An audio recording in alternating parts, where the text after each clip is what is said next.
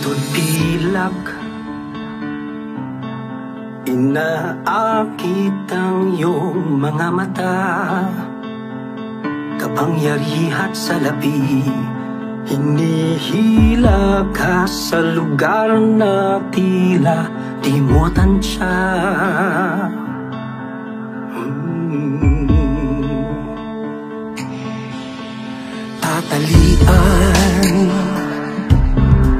Gamit ang matatamis na salita.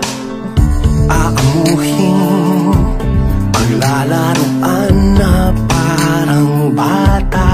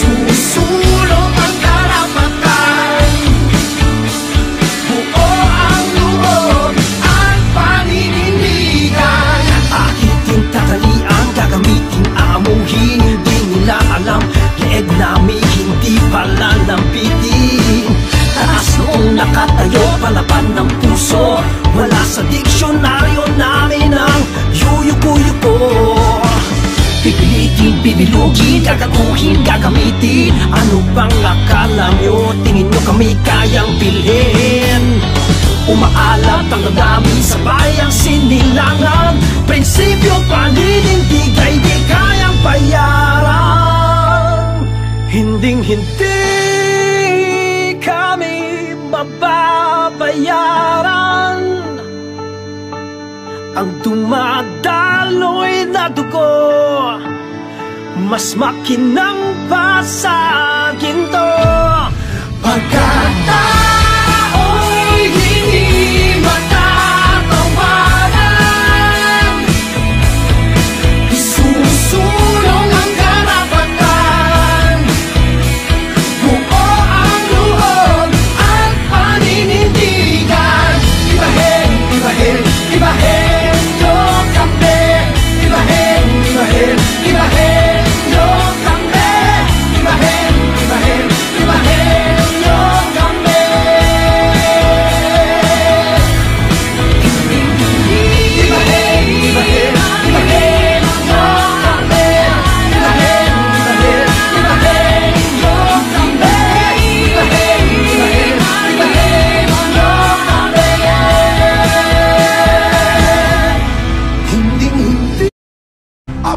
pribadong politiko na may hawak ng kapangyarihan na ginagamit laban sa mamamayan. Isang network na lumalaban, inigipit pa ng gobyernong ito.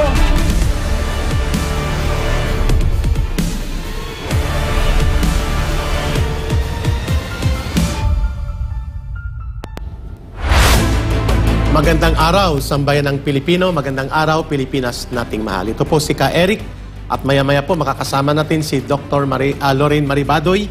At ah, habang tayo po ay naghahanda sa pag-join ni Ma'am Lorraine dito sa episode natin ah, sa Pilipinas nating mahal, makakasama po natin pansamantala bilang ah, co-anchor and guest dito sa ating programa ang Pilipinas nating mahal ang magiting na tagapagtanggol ng ah, kalayaan sa malayang pamamahayag at totoong press freedom at hindi natitinag sa panggigipit doon sa lahat ng mga abusadong politiko at mga kongresista during the time na nagkakaroon ng persecution trial sa loob ng House of Representatives laban sa SMNI.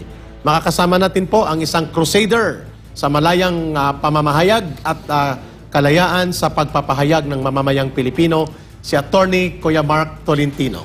Ay, good day po kay Eric at sa lahat po ng mga followers dito sa programang Pilipinas Nating Malat. Thank you for the opportunity sa pag sa pag invite sa atin and explain natin yung yung freedom, right of uh, expression, freedom of expression, freedom of press, and of course yung pag pagiging abogado natin sa SMNI kasi tomorrow yun ang ang may may Gaganapin na hearing. hindi naman matatawag na investigation yan kasi ang invitation natin hindi naman legislative inquiry. Kung hindi, consultative meeting. Oh. So iba yun. Iba dun sa Cong- sa House of Representatives kasi parang sa PINA ito, natanggap natin eh. Oo. Oh, then doon, ah, start pa lang, lutong Macau na. Oo. But ngayon, ang nakalagay sa sa invitation natin is consultative meeting. And I'm very, ang nag-expect po tayo na doon po sa Senado, mas fair ang mga senador, and of course, mas matalino, willing makinig. Doon kasi sa Congress, sa na-experience natin, Oh, kay Eric, kinatay tayo I doon. think mga five days, five hearings or four hearings yon hindi tayo pinatapos mag-explain. Yes. Kasi mag-explain tayo isang sentence, dalawang sentence, may pananakot na na-decide tayo in contempt. Mm, Yun yan. intimidation. O, kasi nga, doon nga eh, sabi nga nila ng isang congressman na last man standing. Kasi ikaw kay nakulong ka na. Si Ma'am Lorraine. Ma'am Lorraine, nakulong na. Tapos yung isang kaibigan ko abogado, si, si Attorney Rolex. Attorney Rolex, parang nag-high blood, high blood yata sa, Sa, sa tension at sa, stress. sa tension. So, ako yung naiwan doon. Tama ka, tama so, ka. dahil sa pag-argue natin sa freedom of press, freedom of expression, yun explain po natin yung mga na wala talagang na-violate ang SMNI sa prangkisa po niya. So unfortunately, hindi po pinansin, hindi po pinakinggan. In fact, nung last hearing, nag-submit po tayo ng position paper. Sabi ko nga, bago kayo magbotohan, at least basahin nyo man lang yung position paper namin. Kasi nga, pinaguran po natin yan. Ilang araw, ilang gabi kami hindi natutulog. At nagbabasa, ginagawa natin yung... Pinaliwala mga- lang yun. Parang binasura. Oo. So, hindi hindi tayo binigyan ng pagkakataon and hindi nila binasa at least uh, for the last time binasa sana nila uh, under the principle of due process pakinggan sana nila walang ganon. So, So, Pupunta natin ni Attorney Mark. Yes, yes. Oo. At ah, ma- ma- ma- maraming salamat at inailinaw mo na itong pagpupulong bukas sa Senado ay consultative meeting. yeah, hindi yan legislative investigation na in aid of legislation. Hindi. It's a, it Ah. is a consultative meeting. But there was a resolution passed, ang nakita ko sa news, ah, led by Senator Robin Padilla, ay ah, resolution number 1,000. Ah, yes, yung resolution na yan is I think about sa sa sa Press press, freedom. freedom, yung tinatawag na sa mass media. Ah. So yun ang pag-uusapan tomorrow. Actually hindi naman nag-focus yung investiga- yung meeting or consultative meeting tomorrow, hindi nag-focus yun sa prangkisa ng SMNI.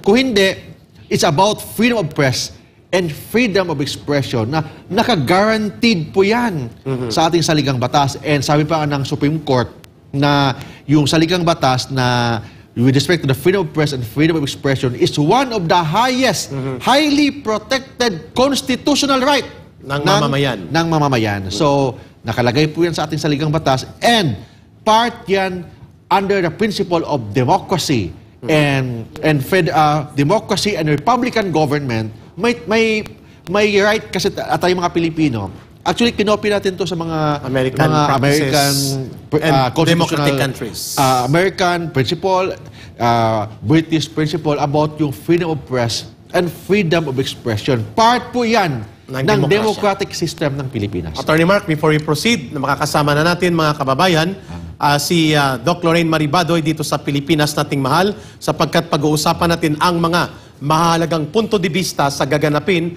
na Senate Consultative Meeting na ipinatawag at pinamunuan po ni Senator Robin Padilla, particularly on mass media practice and press freedom issues. Ma'am Lorraine, welcome sa Pilipinas nating mahal. Yeah, good morning Eric and good morning Attorney Mark. Yes, good morning sa aking mga kababayan. So, pinag-uusapan natin napakaganda. I can just jump into the discussion no na itong Marcos administration na ito talagang pinatahimik ang press freedom. So, na natutuwa tayo na ah, meron merong lumalaban na nandiyan pa rin ang Senado, no? Na meron pa rin meron pa rin tayong recourse. So, that's Yes. Maraming salamat, ah, Ma'am Lorraine. At habang nagkakape si Attorney Mark, ay ah, babalikan natin itong ah, balita. Ah, Attorney Mark, Ma'am Lorraine, ah, maya-maya lang din may break-in news kami ni Ma'am Lorraine sapagkat nakatanggap kami ng isang ah, confirmed news, very positive sa ating pagtatanggol ng ating mamamayan at ng ating pamahalaan laban po sa ah, pabagsak na at pawala na terorismo ng CPP, NPA, NDF, including ang paglaban natin na lumpuin at paralisahin na ang kanilang mga urban infrastructure like Karapatan, Bayan, among others. Maya-maya lang, babalikan namin yan ni Ma'am Lorraine na bang inihanda. But nonetheless, ito muna para maka-jump off ang ating talakayan with Attorney Mark Tolentino. Tingnan natin po itong ulat tungkol sa nalalapit o gaganapin bukas na ah, pagsasagawa ng Senate Consultative Meeting on Press Freedom and Media Relations or Media Issues. Mag-aapat na buwan na pero di pa nakababalik sa ere ang SMNI matapos itong suspindihin indefinitely ng National Telecommunications Commission o NTC. Sa SMNI umiere ang mga programa ni Pastor Apollo C. Kibuloy ng The Kingdom of Jesus Christ at maging ang programa ni dating Pangulong Rodrigo Duterte na gikan sa masa para sa masa. Una nang sinabi ni Padilla na ang suspensyon ay dala ng pamumulitika. Siyempre, hindi naman po tayo mga bulag. Alam naman natin yun, na number one na supporter ni Pangulong Rodrigo Roa Duterte, si Pastor Kibuloy. Eh, hindi naman po natin maipagkakaila din na karamihan sa mga sumusuporta ng laban kay kay ah, ah, ah, Pastor Kibuloy, eh, may kinalaman sa politika. Sa inihaing proposed Senate Resolution 1000 naman ni Padilla kamakailan ay formal niyang hiniling sa Senado na imbestigahan kung wala bang nilabag na proseso ang NTC. Ang investigasyon in aid of legislation ay hiniling na pangungunahan ng Senate Committee on Public Information and Mass Media na kanyang pinamumunuan. Ipinunto ng senador na sa isang probisyon sa Republic Act No. 11659, hindi dapat lalagpas sa 30 araw ang suspensyon ng isang network. Ito ay upang maiwasan ang matinding pinsala o maging sagabal sa interes ng publiko o pribado. Bigurin anyang ipaliwanag ng NTC sa kanilang show cause order kung bakit kailangan patawan ng indefinite suspension ang SMNI. Ayon sa senador, ang walang basihang indefinite suspension sa SMNI ay hindi lamang pagkakait ng due process kundi maging paglabag sa press freedom. Ang investigasyon sa suspensyon ng SMNI ay una ng hiniling ng senador sa isang privilege speech sa isang sesyon sa Senado. Ngunit hanggang ngayon ay hindi pa ito nagkaroon ng schedule kung kailan tatalakayin. Habang ang kanyang bagong resolusyon naman kung saan formal niyang hiniling ang investigasyon ay posibleng isagawa sa April 24. Ayun. Mga kababayan, ah, Attorney Mark, Ma'am Lorraine, napaganda, napakaganda po ng development nito para po mailantad sa mga mamayan na nagpapatuloy po itong abusado, tiraniko, at dispotiko na uri ng ah, paghahari-harian itong National Telecommunications Commission under the office of the President. At ito ngayon ay magandang ilalantad sa halls of the Senate dahil magkakaroon ng ah, isang tinatawag na open public consultation anong nangyari sa SMNI. Yes, At nagpapasalamat tayo sa Senado, kay Senator Robin Padilla, kay Senate President Mig Subiri sa kanyang pagpayag na bigyang liwanag at katuwiran ang mga kaganapan tungkol sa iskandaluso at uh, balahura na uri ng pag-aabuso laban sa press freedom nitong opisina under the Office of the President na National Telecommunications Commission. Yeah, may I, may I ask something, no? Kasi ang sinabi ni Eric dito ay ang NTC, no? But I want the Filipino people to look past the NTC and see Bongbong Marcos, see the President kasi siya ay deafeningly silent tungkol dito sa pag pagmamalabis no ng ng ng NTC na, na nasa under the office of the president and it's just government so siya yan no so um, nag-uusap kami ni Attorney Mark dito at gusto kong uh, i-underline tinanong ko siya attorney yung NTC sinuspend ang operations ng ng SMNI pero totoo ba na walang rason na ibinigay Ang rason, okay, dalawa yung Yeah. order ng NTC. May Yeah. December 19, 2023, uh, sinuspend po yung SMNI for 30 days. Preventive suspension daw. So, you say preventive suspension, while under investigation, suspend yung SMNI for 30 days. Uh, unfortunately, after ng 30 days, in-extend po nila indefinitely. Hindi natin alam kung one day, one week, one month, one year, 10 years, nung January 18, 2024. So dalawang orders ito Dalawang order yan. So, Nag-lapse yung first order na December 19, 2023 and then by January 2024, January 18. oh, 2024, another indefinite, suspension. Indefinite na. Oo. So ano yung reason nila? Ang sabi nila, per the resolution ng House of Representatives. So ibig sabihin, nagpadikta sila sa House of Representatives. Mm, malinaw wherein, yun. under the law, under the National Telecommunication Law, ang NTC, they have quasi-judicial function. Ibig sabihin, Ibig sabihin na quasi-judicial, parang judge sila. Ah, okay, Hindi parang korte. pwede sila diktahan ng na House of Representatives kasi there will be a violation, yung tinatawag na separation of power. Mhm. Kasi the NTC is under the Executive Department, ang ang ang House of Representatives is under the Legislative Department. so whatever the position or opinion of the House of Representatives cannot be made as a solid ground for NTC to decide without a proper hearing and investigation Kailangan- na independent. kailangan muna mag-conduct ng hearing, mag-conduct ng investigation. Ibig sabihin, dahil walang hearing, walang investigation, nung, nung nag-issue sila noong December 19, 2024 ng suspension for 30 days, na violate na ang due process clause Klaro. or due process right ng SMNI. Ayun. So, ito ka muna. So, ibig mo sabihin, ah, attorney, ah, dapat yung tamang proseso dito before they they suspended indefinitely, they should have ah, investigated. And hindi nila pwedeng sabihin, di, we are suspending you indefinitely kasi sabi ng Kongreso. Because Oh, that's, da- that's dapat. exactly what they said, di ba? Dap- Sabi kasi ng Kongreso eh. Dapat yun ang ginawa nila talaga. Dapat mag-conduct sila ng investigation. Ang ginagawa kasi nila, may mga report daw na nag-operate daw ang SMNI doon sa Rojas City or sa ano yung probinsya doon sa, Yeah. sa Visayas. Which is na not even true. Kahit kahit may mga allegation na gano'n, kailangan Hearing mo bigyan muna ng pagkakataon ng SMNI na magpaliwanag. Ang tanong, may paliwanag ba na ni- nangyari? Wala. Okay. Last hearing, nung pumunta po tayo sa NTC kasama si, Kong, si Attorney Rolex Suplico, dalawa kayo pumunta doon. Hmm. Nagtanong kami, pre-hearing, ibig sabihin parang pre-trial. Saan dito yung complainant? Walang dumating na complainant. Under the rules, pag walang dumating na complainant, Dismiss ang kaso. Walang tinatawag na pre-trial brief. Wala.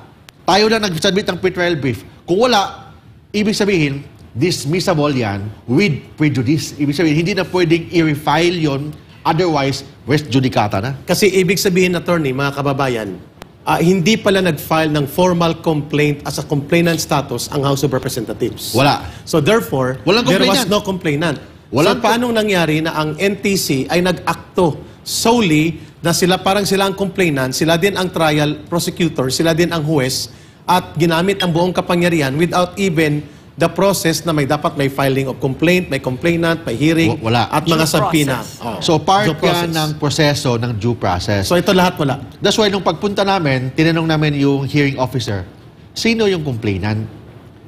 At least the complainant should be represented by a member of the Philippine Bar. So sino yung abogado ng NTC na kung si NTC naman yung complainant, at least may abogado kaming kaharap doon Wala. para kasi ang purpose ng pre-trial, mediation, pa, baka pwede Yes. magkasundo, ano yung stipulation of facts, amicable settlement, kung may amicable settlement man, wala. May pre-trial brief ba? Wala. May nag-appear ba during pre, pre-hearing? Wala. So ano epekto nun? Under the rules of court, kasi ang rules of court is part, by analogy, is applicable sa NTC rules. Dahil quasi-judicial body Oh, siya. ang nakalagay doon, pag hindi ka nag-attend, wala kang pretrial brief, is dismissible with prejudice. That's why today, nag-file po tayo ng motion to dismiss doon po sa NTC on the ground na walang walang complainant na dumating during the pre-hearing, hindi sila nag-file ng pre-trial Question. Brief. Uh, attorney, uh, from, as a- from the perspective of a layman, ano, Yeah, yeah. ginagawa ba yon? Nangyayari ba ito? Are there, are there cons- uh, conditions or circumstances when what NTC did no, without a complainant, without, uh, with, no, i- does that ever happen? Yung kausap ko yung hearing officer ng NTC, ah, sabi niya, matagal na siya sa NTC, mga more than 20 years na yata. First time daw ito nangyari na sila ang complainant, sila ang sila da, sila pa ang huwes, sila Okay. din ang mag-decide. So, so ano, so um, eh, Eric and and uh, attorney mga kababayan, ang nakikita natin dito, wag na tayo magpaikot-ikot na ang nakikita natin at nararamdaman natin dito ay ang mabigat na kamay ng uh, uh, Marcos administration. And I'm putting two and two together kasi we, yesterday we had um, attorney um, Glenn Chong as guest and he said, he claimed that all of this, yung, yung panggigipit sa SMNI, ay dahil kay First Lady, these are, these are, these are the machinations of the First Lady, uh, what's her name? Lisa Araneta Marcos. So, I'm saying that all of this is politically motivated, which means no, na our, our democracy is in grave danger because it is in the hands of despots. Uh, at malinaw, Attorney Mark Tolentino, that the box uh, or the responsibilities sa nangyaring itong abuso ay sa Office of the President. Of course. Tama yan Okay, kasi. At malinaw din, ang gusto nating Yeah. imensahe dito, Attorney Mark Tolentino, bakit humaba at humaba po ang sungay ng NTC? Ah, maliban sa ito'y kinokonsente, obviously, ni Pangulong Bongbong Marcos Jr., at bakit hindi tayo nakakuha ng mga remedy to bring them to the bar of justice for an apparent oppression, grave abuse of authority, and uh, very clear na paglabag sa mandato at batas. Bakit hindi natin sila sinisingil at Alam- dinadala sa hukuman? Halatang halata kasi na yung ginagawa ng NTC, ah, binagal ang proseso. Oo, sinadya. Bina- sinadya, parang, parang kung basketball pa, nag-dribble lang sila, hindi sila nag-shoot or anong, walang attempt to do that. Which is Ba- illegal yan, dapat. dapat may resolution na sila anong gagawin. Bakit Mm. ganoon? Bakit pinatagal nila lahat?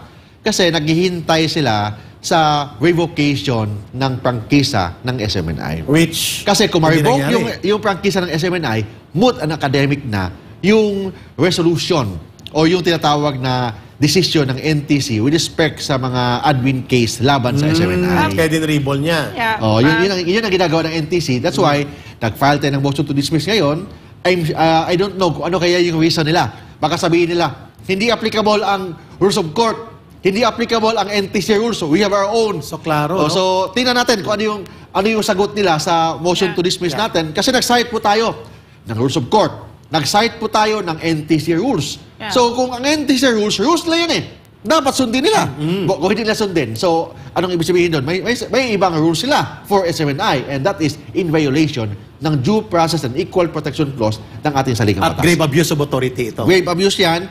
So, pwede tayo mag-file ng, ng ombudsman case against sa kanila. Dapat. So, we are planning sa legal team natin. So, hopefully, yung, yung kasama natin sa mga lawyers will agree sa posisyon natin na dapat mag-file na Oo, oo. ng, ng ah, criminal case, admin case ah, doon sa ombudsman. Laban sa tatlong laban commissioners. sa din. tatlong commissioners. May I may I please read no what the president recently said during the FOCAP anniversary.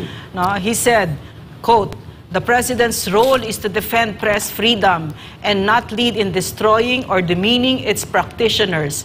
Unlike many of my predecessors, I do not seek collaboration."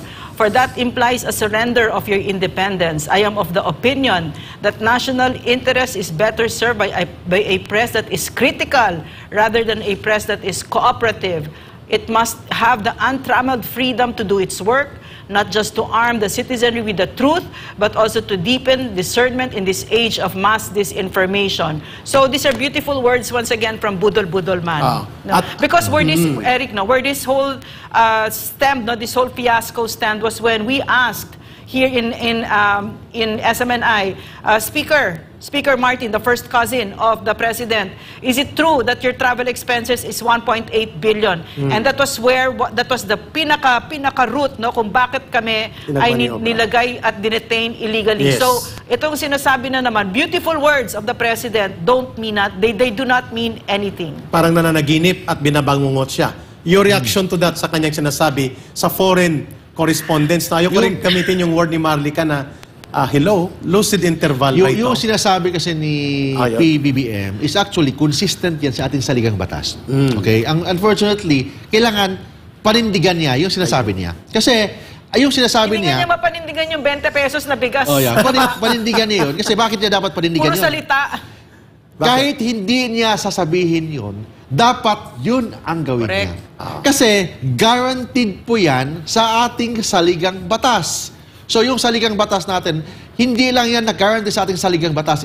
Under the concept of a democratic and republican government, protected talaga ang freedom of press, Um, question, freedom ah. of expression. Um, I just want to point out something. Kasi in his speech, in this beautiful speech, which means nothing, he references his predecessors. Mm. I don't remember any of his predecessors that did to media what he is doing now to media unle- unle- un- unless we're talking about so his sino yung, father. sino yung mga predecessors niya? Na I don't know. Ah, coming from sa niya? tatay niya.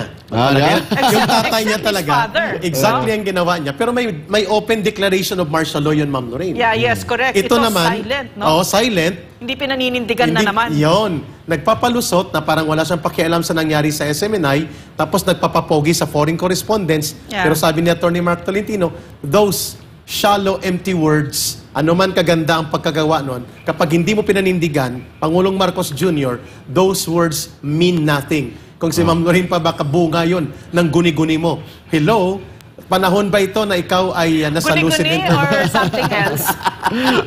Attorney Mark, maganda yung punto na binanggit ni Ma'am Lorraine. Oh, yeah. How important is it for the President to show sign of commitment and conviction into action sa kanyang mga pananalita na nirerespeto niya ang mga pundasyon ng demokrasya. And one of that is ang pagrespeto sa saligang batas at ang proseso nito at ang mga demokratikong prinsipyo kagaya ng press freedom na malinaw na ginorgor, kinatay nila at nilumpo ang SMNI ng illegal at iskandaloso. So yun ang gagawin natin, dapat yung NTC, hindi nila dapat diktahan yun. Kailangan the NTC should decide based on merits, based on evidence. But I don't know kung gawin nila yan kasi day one pa lang, alam na natin na may nagdikta sa kanila. Yun. Kung basahin mo yung rules o yung order ng NTC noong December 19, 2023, January 18, 2024, parang parang hindi sila mga abogado or I don't know kung may abogado ba dyan. Isa lang na- yata ang lawyer abogado. doon eh. Oo. At least man lang yung mga lawyers ng NTC, maganda yung kanilang explanation about sa order nila. Unfortunately, wala. Klarong-klaro na violation ng, ng separation of power. Ngayon lang tayo nakakita ng isang, ng isang NTC na quasi-judicial body. Like any other quasi-judicial bodies, ngayon na tayo nakakita na pwede palang diktahan ng House of Representatives. sa isang mali at napakapoderoso at abusadong hakbang na nagpagamit siya. by a mere resolution. Yun. Yeah, and it's a very dangerous precedent, di ba? Yeah, yeah. Kasi from from here on in, pwede palang gawin yan ng susunod na mga Exactly. NTC. Sabi kasi ng mga boss amo chip namin eh. Pwede di ba? namin gawin Sa. Kongreso, di ba? Ma'am, may tanong kami kay Attorney Mark. How important is this consultative public forum na pinatawag ng komitiba ni Senator Robin Padilla na maibulgar ito at mahanapan ng pamamaraan including a Senate resolution na dapat maitama ang itong pagkakamali at abuso ng NTC at ng opisina ng presidente na ito as part of check and balance. How hopeful and affirmative our perspective on this activity sa Senate bukas? Ah yes, I'm I'm very excited tomorrow sa consultative meeting tomorrow with the committee headed by Robin Hood Padilla. Bakit? Hindi kasi tayo binigyan ng pagkakataon na magpaliwanag sa House of Representatives.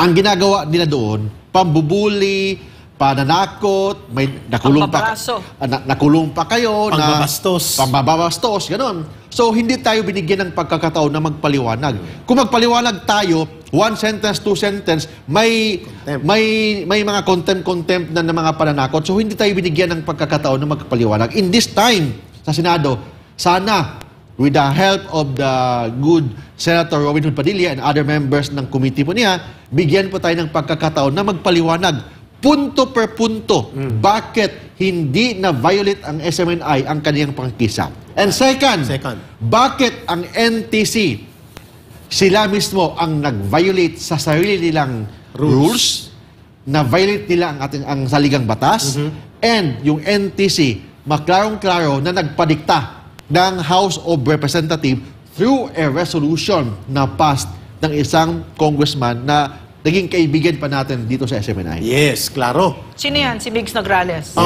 Tama ba? si Mix Feeling Guapa Nograles. Ah, yes. At ang isa, yung nakikipagsalo dito dati kay Pastor, Yung- nang yung kapag nag- nagtitipon-tipon at nakikipagkonsultahan, yung nag-sponsor Ah, ng oo. revocation. Oo, yun. Oo, yung, ah, Ba- bagong eleksyon, Si, Rod, Yung- si Richard Gutierrez. Oh, Richard ba yun? Basta, Eddie Gutierrez, oh. Basta rider, I don't know kung... One rider. I don't know kung magaling ba magmotor yun kasi rider eh. Ay, hindi yata marunong Pero bumotor hindi to ko eh. nakita nag, nagbumotor siya. So, yung dalawa, yung isa, si yung lalaki, si... Eddie Gutierrez. Si Eddie Gutierrez ba yun? So, siya yun ng... Nung bago ang eleksyon, palagi yan dito sa SMNI, Oo. nakikiusap ni... Natulungan ni- siya sa party list niya. Oh, Oo. okay. Si Pastor, Oo. sa mga sa, sa kingdom. Tapos ngayon, biglang bumaliktad dahil sa kwarta. Ah, klaro, at dahil sa ah, puder at pundo. Uh, talaga. ko lang tanong ko, Ah. at eh, pasa ko kay Ma'am Lorraine. Gaano kahalaga na maipresent itong mga balanse at totoo at tamang mga punto kung bakit dapat mawala itong independent suspension at kailangan tulungan ng Senado ang ganitong kaganapan sa ating bansa sapagkat the last time that I checked today, wala tayo sa ilalim ng martial law, pero itong presidente na anak ng diktador, na tatay niya, na at least matapang na hinarap sa pamamagitan ng martial law declaration. Tsaka brilliant. Oo, ma- marunong gumamit ng batas. Ito naman, nagtatapang-tapangan lang, pero mag, may, may ah, kapal pa ng mukha na magpakilala sa foreign correspondents na pinoprotektahan niya ang isang malaya, critical na media. How important is this for the Senate and the nation to see Sa- na ang ganitong pangyayari? Sa experience ko kasi bilang abogado, yung tinatawag na preventive suspension is not part of the of a penalty. Preventive suspension, part yan ng due process. So 30 days lang yan. Sa iba, 60 days. 60 days. Yun ang pagkatapos dapat ibalik na. But yung walang walang preventive suspension na indefinite. That is a clear violation ng due process clause ng ating saligang Um, because batas. what is the purpose of a preventive suspension? Ang purpose ng Attorney? preventive suspension para kung may possible na mga influence during the investigation, mapigilan yung mga possible na Ayun. Ah, influence. so, so therefore, itong preventive suspension na ito, maliwanag na pangbabraso ng gobyerno Yes. sa media. Oo. Tama, tama yan. At mamang malala, indefinite ang kanyang ginawad after six, 30 days. oh, yes. Wala kasing preventive suspension na indefinite. Attorney if, Mark. if, if you check the governor o ng Del Norte, Davao del Norte, preventive 60 suspension. days maximum. 60 days preventive suspension. Oo. Mas worse ang SMNI. Preventive suspension na indefinite. If there's Oo. such thing as indefinite suspension. So kung At ang malala, walang complainant. Walang complainant, walang walang hearing, Um, nabigyan tayo yung SMNI, bigyan ng SMNI ng pagkakataon na magpaliwanag. Yes. And we all know what this, why, why this is. Yeah. This is because of uh, SMNI, uh, for a lot of reasons, gave, uh, number one, gave the platform to the former president Exactly. to speak. No? Yes, Sagitan tama. sa, kasama sa masa. And of course, number two, yung laban kasama ang bayan, uh, anti-CPP, NPA, NDF yun, na ngayon ay may collaboration with the Speaker of the House. No? So, and then number three, SMNI, uh, Pastor Kiboloy is a very good friend of the President. Yes, No? So, and kaya ginigipit ng ganyan. By, by the way, Kaya, Sige, go ahead. dapat nung yung lahat ng mga ginagawa ng NTC, willing ang, legal team ng SMNI na humarap doon sa, N- sa NTC. At para mailahad sa kanila ang mga And ebidensyang ito. dapat kami magpaliwanag. Gusto namin magpaliwanag. Ang problema, Sila hindi. wala hindi naman pumunta, hindi naman sumipot. Hindi sumipot. Grabe. Tapos, hindi pa nag-file ng pre-trial brief. Sila mismo, vina-violate nila ang sarili nilang rules ng NTC. So parang ano, parang ang sinasabi mo, no, skandaloso talaga yung sinasabi mo. Nasya-shock ako talaga. Parang sinasabi mo, sinasabi ni Bongbong Marcos, wala akong pakialam. Ah. Whatever I say goes. Whatever I want goes. I don't care. I don't care about the laws of the land. I don't care about the constitution, about your human rights, about all this important, the press freedom or your expression to, your freedom to express yourselves freely. Wala akong pakialam dyan. Ako masusunod. Mhm. And dahil dyan, Authoritarian ka talaga. authoritarianismo ito. And dahil dyan, Attorney Mark Tolentino, lumalakas ang loob ng NTC ni Martin Romualdez Yeah, ng Kongreso na abusuhin ang batas at kapangyarihan nila. How dangerous are these things kapag hindi natin ito ipinaglaban sa lahat ng forum the way na hindi tayo tumigil sa loob ng Kongreso, sa Senado at sa Korte. Attorney Kung Mark. hindi tayo lumalaban, tatahimik lang tayo dito, tutunga lang tayo dito, so baka mawala na yung democracy ng Pilipinas. So, wala ng democracy, wala ng batas, wala ng freedom of press, wala ng freedom of expression. That's why, ang, ang SMNI, ang legal team ng SMNI, of course, yung mga kaibigan po natin na sumuporta sa SMNI, lalo na si Ka Eric at saka si Dr. Lorraine, Thank you. tayo ang lumalaban. Hindi ito for us. We are just part, we are just instrument Tama. of of this freedom. In fact, in fact, ano, attorney, no, we'll inform Oh. the Filipino people. Kami dito, inaalay na namin Yes. ito. Ah, hindi na kami tumitingin sa Marcos administration. Hopeless case ito.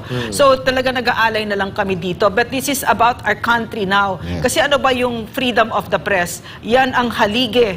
Yan ang foundation ng isang demokrasya. Bakit sila, I've, I've never seen a quieter and more silent and scared uh, uh, uh, media than, than we have right now. Sobrang tahimik, natakot na takot magsalita. Eh, eh, ang media, doon yun nakukuha yung information. So Correct. nakikita natin ngayon, marami sigurong tinatago itong administrasyon na ito na Exactly. ayaw nila marin malaman ng Pilipino yung pambababoy at pagnanakaw at pagbabalahura na ginagawa nila sa ating mga sa ating mga kababayan. Correct. Attorney Mark, ang tanong namin doon, dugtong sa binanggit ni Ma'am Lorraine. Kung bakit nila tinanggal, nilumpo, pinaralisa sa lahat ng illegal at high-handed, authoritarian at despotikong pamamaraan ang SMNI is because kailangan nilang patahimikin, busalan ang critical media na Yes. hindi totoo ang binabanggit ni Marcos na may critical media sa Pilipinas. Lahat ay naging kasabwat, naging colluder at naging ah, sunod-sunuran sa kanila. Ngayon ang tanong namin sa iyo, Attorney Eric, Mark. Eric two seconds ha. Nung nasa Cebu ako, no, for, to be with PRRD, just recently, a few days ago, I shared a ride with someone who was a UP Diliman graduate. And yet, she had no idea how this president has brought us to the precipice of war. Yes. Sabi ko, why did you not know? I mean, you're an educated person. Obviously, I don't see it in media. Yes. That nobody's talking about it. No? So, Claro. this is why, this is one of those reasons why nakakatakot itong, sasabog na lang pala bigla ang bansa natin. Habang nagsi, nag, naggigisa ka ng uh, whatever dyan para pakainin anak mo, eh, bigla na lang sumabog, wala na yung Pilipinas. Correct. At ito yung, gin- dito tayo dinadala ng Bongbong Marcos na ito. Yon ang role ng SMNI. Attorney Mark, ang tanong namin sa iyo.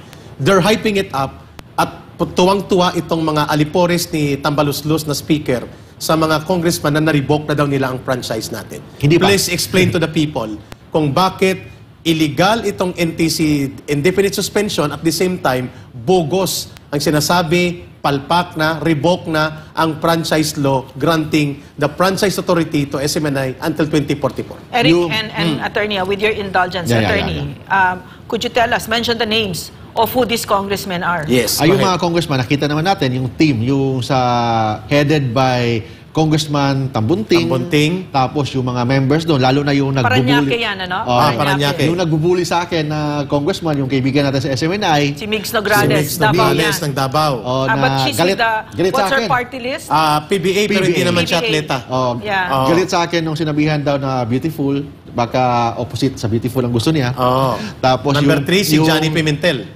Oh, Pimentel, yung Ng Surigao. kababayan. Kaibigan ng ano yan, Eric, di Ah, ba? kaibigan ng NPA. Ang Kaibigan sabihin na ng natin. NPA yan. At ah, marami kababayan tayong yan. balita. Ikwento mo, Eric, ikwento Oo, mo. Na- marami tayong balita na ito sa may pananagutan sa taong bayan dito sa mga panahon ng eleksyon sapagkat itinuturo siya ng mga sources natin sa Mindanao at ako mismo may knowledge tungkol sa involvement niya ah, pag sinasabi natin ang permit to campaign at mga pakikipagsabwatan sa NPA. Ang detalye niyan, ah, mamaya-maya pag may oras kami, ano mga ginawa niya sa Mindanao. Who else? Ah, si Paduano? Si Paduano, na Paduano. dating ah, NPA at bodyguard, sinipa Yung ito. rider, rider.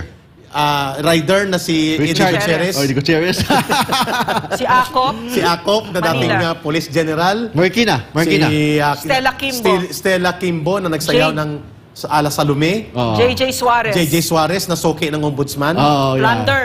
Sa plan- Magnanakaw. Sino pang sunod na attorney? Mara- Marami pa, hindi ko na Si Hernandez. Si Dan Hernandez na... yung kamukha ni Fanny Sara- Oo, Serrano. akala ko Santa nga si- Rosa, Santa Rosa, sino yun? Si Dan Hernandez. Fernandez. Ah, Fernan- Fernandez, oh. Ah, Fer- ah, Fernan- Dan Hernandez. Oh, Hernandez, Ay, oh, yan. Hernandez. So, So ito sila ang mga main Ah, Benny actors. Abante. Si Benny Abante ng Manila, And uh, marami pa itong Committee on Kaya, Legislative kaya, Franchise. kaya namin sinasabi sa inyo kasi palapit na tayo sa isang election. no? Yes, months na lang. la- ba- bago yan, ah, kay Eric and Yeah, Dr. A, okay. kailangan ko i-explain sa taong bayan Yes. ano yung status ng prangkisa ng SMNI. Please. Buhay na buhay pa ang SMNI. Yes, May nasugatan. Yes. May kaunting sugat because of the war doon sa House of Representatives. But buhay na buhay pa ang prangkisa ng SMNI. Hindi pa na-revoke ang SMNI. Ibig sabihin, nandyan pa ang Republic Act 11422 or Batas yung siya. franchise or batas na nagbibigay ng prangkisa ng SMNI. Yes, klaro. But, ang ginagawa ngayon, sinuspend lang indefinitely ang ang operation ng SMNI because ang NTC has no au- authority or jurisdiction to suspend or to revoke the franchise of the SMNI. Kailangan batas yan. Ang NTC, walang karapatan, walang jurisdiction na mag-revoke ng prangkisa. It should be a law. Pero So, ang kanyang ginagawa, illegal na pinipigilan ang operation ng SMNI. Suspension of the operation, Grabe. not of the franchise. Not of the franchise. But ang, ang suspension niya, indefinite suspension. And that is illegal, unconstitutional, in violation ng due process clause ng ating saligang batas. Klaro. So buhay pa po ang franchise ng SMNI, bogus po ang pe- at fake news ang sinasabi ni Johnny Pimentel at nila JJ Suarez at ni Speaker at mga bata-bata ni Speaker Martin Romualdez. Ngayon ang As tanong, long as long as, As long dalawa as- yung body natin ng Congress, House of Senate and House of uh, House of Representative, may ma-review pa yan. Kasi akala nila na unicameral tayo na si Speaker siya ng Prime Minister kasi pwede nila mag-approve. Pag nag-approve na sila mga congressman, na. yes, batas na yan. But in this case, bicameral po tayo. Dalawa ang, ang bahay po natin. Ayun. So yung, yung approval ng House of Representative, i-review pa yan, i-confirm pa yan ng House of Senate.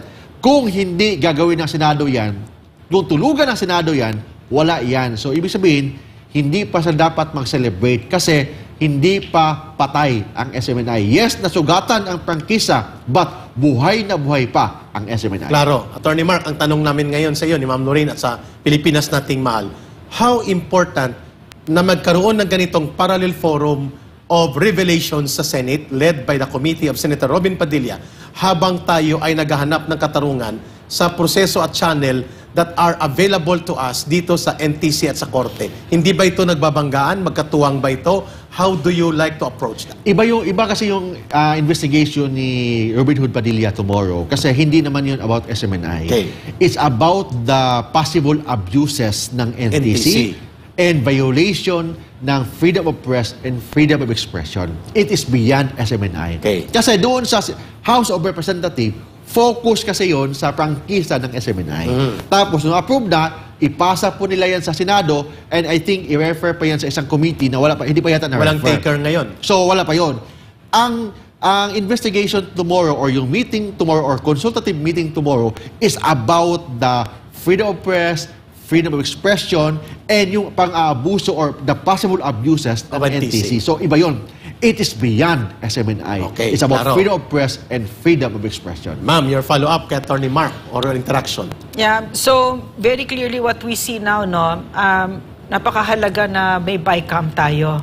Kasi hindi maaasahan itong Martin Romualdez-led na kongreso na hindi lang si Martin Romualdez yan. No? Nasa likod niya ay si President Bongbong Yes, Marcos at and, unfortunately kahit si Lisa Araneta Marcos. So, um, attorney, are you hopeful but about what will happen? I'm very hopeful na mas matalino ang mga senador natin. I'm very hopeful Maybe maybe it's na not matalino, maybe it's principled. Yes, both based on principle, mas At bukas ang isip. bukas ang isip, open-minded, Pagmamahal sa and bayan. Pagmamahal sa consistent dapat yung gagawin nila, consistent dapat sa ating saligang batas, and dapat respetuhin po nila ang freedom of press and freedom But of expression. ano, attorney, but in in that same Senate is Risa Ontiveros who's also abusive and arrogant. Yes. We already know that, 'di ba? So, what would make um, what would make this I don't know, case, this hearing At least naman sa Ah, Senado, yeah. at least sa Senado, hindi kagaya ng House of Representative na ni isang congressman,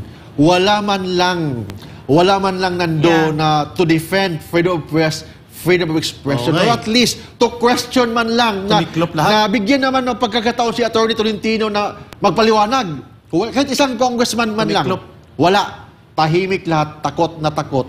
sa In, no, in fact, in fact, nung nandun tayo sa Kongreso noon, para silang pasong-paso at talagang ina-underline nila, this is not about press freedom. So takot na takot sila. But in other words, Di isa lang, wala. They, no, I'm sorry. In other words, they knew that this was about press freedom but- and they knew how Iniiwasan nila. important that yung violation, yung ginagawa nila, kaya binabaliktad nila. Yes, Ah. klaro yun, yun. yun, ang pagkakaiba sa Senado. Kasi sa Senado, we have Robin Hood Padilla, I think member doon sa committee ni Robin Hood Padilla, si Bongo, nandun yata si Senator Tolentino, nandun At si least abogado. Revilla, nan, marami, si Ejercito, si Estrada, I think mas mas iba-iba yung pag-iisip. Yun. Unlike doon sa House of Representatives, ni isang congressman, wala man lang nag, nag-attempt na i-defend ang freedom of press, i-defend ang freedom of expression. Kahit hindi na i-defend, at least man lang, ah, nagsalita, nabigyan tayo ng pagkakataon na magpaliwanag. Hindi magsalita kasi takot na posibleng makulong. At o latiguhin ni Martin Romualdez sa pundo at gipitin sa mga komite. Yun lang, yun lang sana ang pakiusap ko doon sa House of Or baka wala Representatives. silang take home. Exactly. At least may isang congressman man lang or dalawa o tatlong Walang congressman man lang doon eh. na binigyan tayo ng pagkakataon na magpaliwanag, magsalita. Pero ni isa, wala. That's why as a citizen of the Philippines, I was really disappointed Tama. doon po sa proceedings ng House of Representatives. Attorney Mark, may tanong kami dagdag sa ni Ma'am Lorraine, no? para wind up tayo sa interview namin na ito. Ano ulit ang gusto ninyong iha- ihain na mga pahayag at punto de vista patungkol sa malubha at malinaw na pang-aabuso ng kasalukuyang administrasyon ni Bongbong Marcos Jr. through the instrument of NTC na tinatawag ko na ngayon nga na National Tyrannical Commission. What are the major issues na dapat makita dito? And uh, to what position do you like to bring Okay. the position of the Senate regarding this? So tomorrow, I will explain. Kasama ko si si si, si Attorney Rolex Suplico. We will explain bakit hindi na violate ng SMNI ang kanilang prangkisa. So isang isang punto 'yon na one. mayor punto bukas. So number two, dapat ah, respetuhin, bigyan ng pinakamataas na proteksyon sa batas ang ating ang ating freedom of press and freedom of expression. That's number two na main issues Lalo na na, ilalagag. Okay. walang pagbebenta sa shares ng ng ng SMNI na walang pahintulot ng ng House of Representatives kasi Mm-hmm. nakalagay or or House of Senate kasi or the Committee on the Franchise. Mm-hmm. Bakit? Kasi under the law required lang 'yan kung ah, controlling interest ang ibenta. Ibenta mo. Walang ganoon na nangyari. Number three. And number three na explain ko yung tinatawag na reportorial requirement na which nag-report po tayo.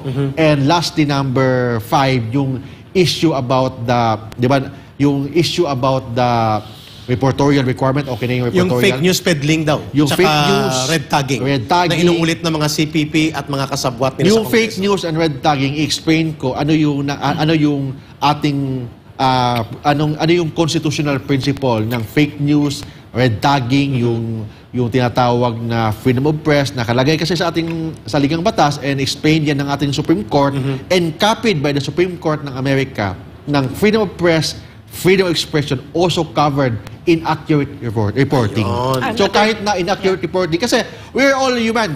Minsan nagkakamal, nagkakamali tayo sa pag-report. Kung may konting pagkakamali, still covered pa yan ng freedom of press and freedom of expression. Mhm. At mayroon tayong sinabi ka, Ma'am Lorraine, no, binanggit ito ni Attorney Mark Tolentino at ng mga abogado, kung na-agravio sila sa maling report na sinasabi nila, which is not hindi mali, kasi totoo talaga na mayroon silang mahigit dalawang bilyon na travel fund, the recourse should not be to attack and disenfranchise the SMNI franchise. At instead, nag-file sila ng kaso, si Speaker Martin Romualdez, laban sa akin. Laban Oh. sa mga angkor ng SMNI, but not to attack the entire SMNI operation and its franchise. Sapagkat yan ay bahagi ng check and balance ang mag-file sila ng mga kaso sa individual na mga angkor. Ano, ano, Ano, another ka, Eric? Can I, hold on, ah. eh, Can, may I just please, ah? Um, yung sinabi ni Eric, no, yung 2 point something billion, etc., etc. Kasi nakikita ko kasi dito, Eric Attorney, parang pinapasayaw nila tayo, no, na we keep on explaining about this. When in reality, that's not the issue. The issue, the issue is the Dutertes. No? It's a political issue, in other words. And they've used uh, this palusot, itong palusot. No? Kasi it doesn't hold water eh. Maliwanag na maliwanag yung sinasabi ni attorney. Hindi naman tayo mga mahihinang utak dito. So sa madaling salita, ginagamit ginamit ng Kongreso, nagpagamit ang Kongreso na para para manupil dahil sa political reasons. And this is very worrisome kasi ang ang sinasangga niya dito ay napakahalaga, no, press freedom. no? Ag- ag- Again, again Yeah. kaya ko explain ito. So itong pinaka pinaka-common na palaging sinasabi ng mga congressman na sobrang yabang, sinasabi nila na if we have the right to give the franchise, We have the right to re- we have the to right to revoke it. revoke the franchise. Yun yan. Mali po yan. Bopols. Mali yan. Kasi if ang prangkisa, binigay ng prangkisa, it is has the same concept of a property right. Mm, Ibig sabihin, siya. hindi basta-basta tanggalin yan kung walang due process. So, yung right to give, hindi ibig sabihin na you have the right to revoke anytime. Yes. Kasi pag binigay mo ng prangkisa, property right na yan. Pag property right na yan, may protection yan sa ating saligang batas, particularly ang due process clause ng ating saligang Na hindi mo batas. pwedeng labagin o i-shortcut o ikutan. Hindi pwede labagin yan, kung hindi, bigyan ng pagkakataon na magpaliwanag. Yun lang naman ang pakiusap. And at least man lang, may isa o dalawang congressman kayong kinausap doon na kunwari na magsalita, na bigyan ng paliwanag si attorney magsalita, bigyan ng mag chance si, si attorney Suplico na mag-explain about about about yung mga prangkisa ng SMNI. Walang ganun. Sila lahat. Two, two lawyers versus 60 congressman. Ah, at dinumog kayo sa isang mali at abusadong paggamit ng kapangyarihan at baluktot na pag-interpret ng batas ayon sa agenda nila na binanggit ni Ma'am Lorraine, ito ay isang political operation. Yes, so- Nagkunwari silang para daw sa eh. pag-investigate. Oh, kasi hindi nakikinig, walang pakikinig Kuha sila, nangyayari bulag, eh. Bulag sila, hindi nila nakita ang katotohanan, bingi, Bingi. sila, hindi nila kayang pakinggan ang katotohanan. So, yun ang nangyari and I'm very hopeful and praying na hindi dapat ma-experience namin yan ni, Cong- ni Attorney Rolex Suplico. Hindi naman ma-experience yan sa mga, sa mga senador. Hopefully. Baka, baka may mga senador dyan na naggaling-galingan, lalo na yung babae dyan, si anong pangalan nun? Ah, si ah, Risa Ontiveros, Baka- baka umupo siya doon. Baka umupo doon kasi member siya, tapos ibubuli kami. Sana man lang, or ka- I'm very optimistic kahit ibuli nila kami, ah, kaya naman depensahan ang SMNI. Hindi, naman- hindi naman kami takot sa kanya eh. Yeah. Lalo na, Dapat lang. kaya nga namin de- idepensa ang SMNI, ang freedom of press and freedom of expression, 2 versus, Versus 60. congressman. Ngayon pa, na may at least may apat o limang kong- senador kami, ah, ang legal team ng SMNI na pwedeng bigyan kami ng, ng pagkakataon na Na magpaliwanag. You know, Okay. um, Attorney and Eric at mga kababayan, um, what I think here is also the issue is the arrogance and the abuse of power, no? I mean, even maybe ano um, neck on neck with press freedom kasi mag, magkasama sila, 'di ba? Kung paano ba isinaling yung ano, yung press freedom ay yung pang-aabuso. So, if in in the Senate, no, gawin din 'yan kung anong ginawa sa Kongreso, sa akin sa pananaw ko mabuti 'yon para makita ng taong bayan kung ano itong, kumbaga, no, kasi siguro, doktor ako nga, no, gusto ko makita ko ano yung sakit ko. Gusto ko makita ko ano yung sakit ng Pilipinas. May cancer ba talaga tayo? Is it just Congress na talagang abusado? Or can we can we still run to to to Senate and even the Supreme Court kasi meron tayong mga institusyon na tumatayo pa rin para sa demokrasya in the face of this arrogant and abusive president no In, Okay. in this Democratic and Republican government kasi, Dr. Rain, may Yeah. tinatawag tayong konsepto sa ating saligang batas, yung tinatawag na check and balance. Yes. Ibig sabihin, check and balance, kahit na anong gagawin ng mga sina- mga congressman doon sa, sa House of Representatives, kailangan i-check pa yan, i-balance yan ng mga senador. Kasi ang what is the priority is the best interest ng taong bayan. Klaro. Kasi the government, ang gob- gobyerno ng Pilipinas, nakalagay po doon that sovereignty Resides. resides from the people and all government authority emanates from them.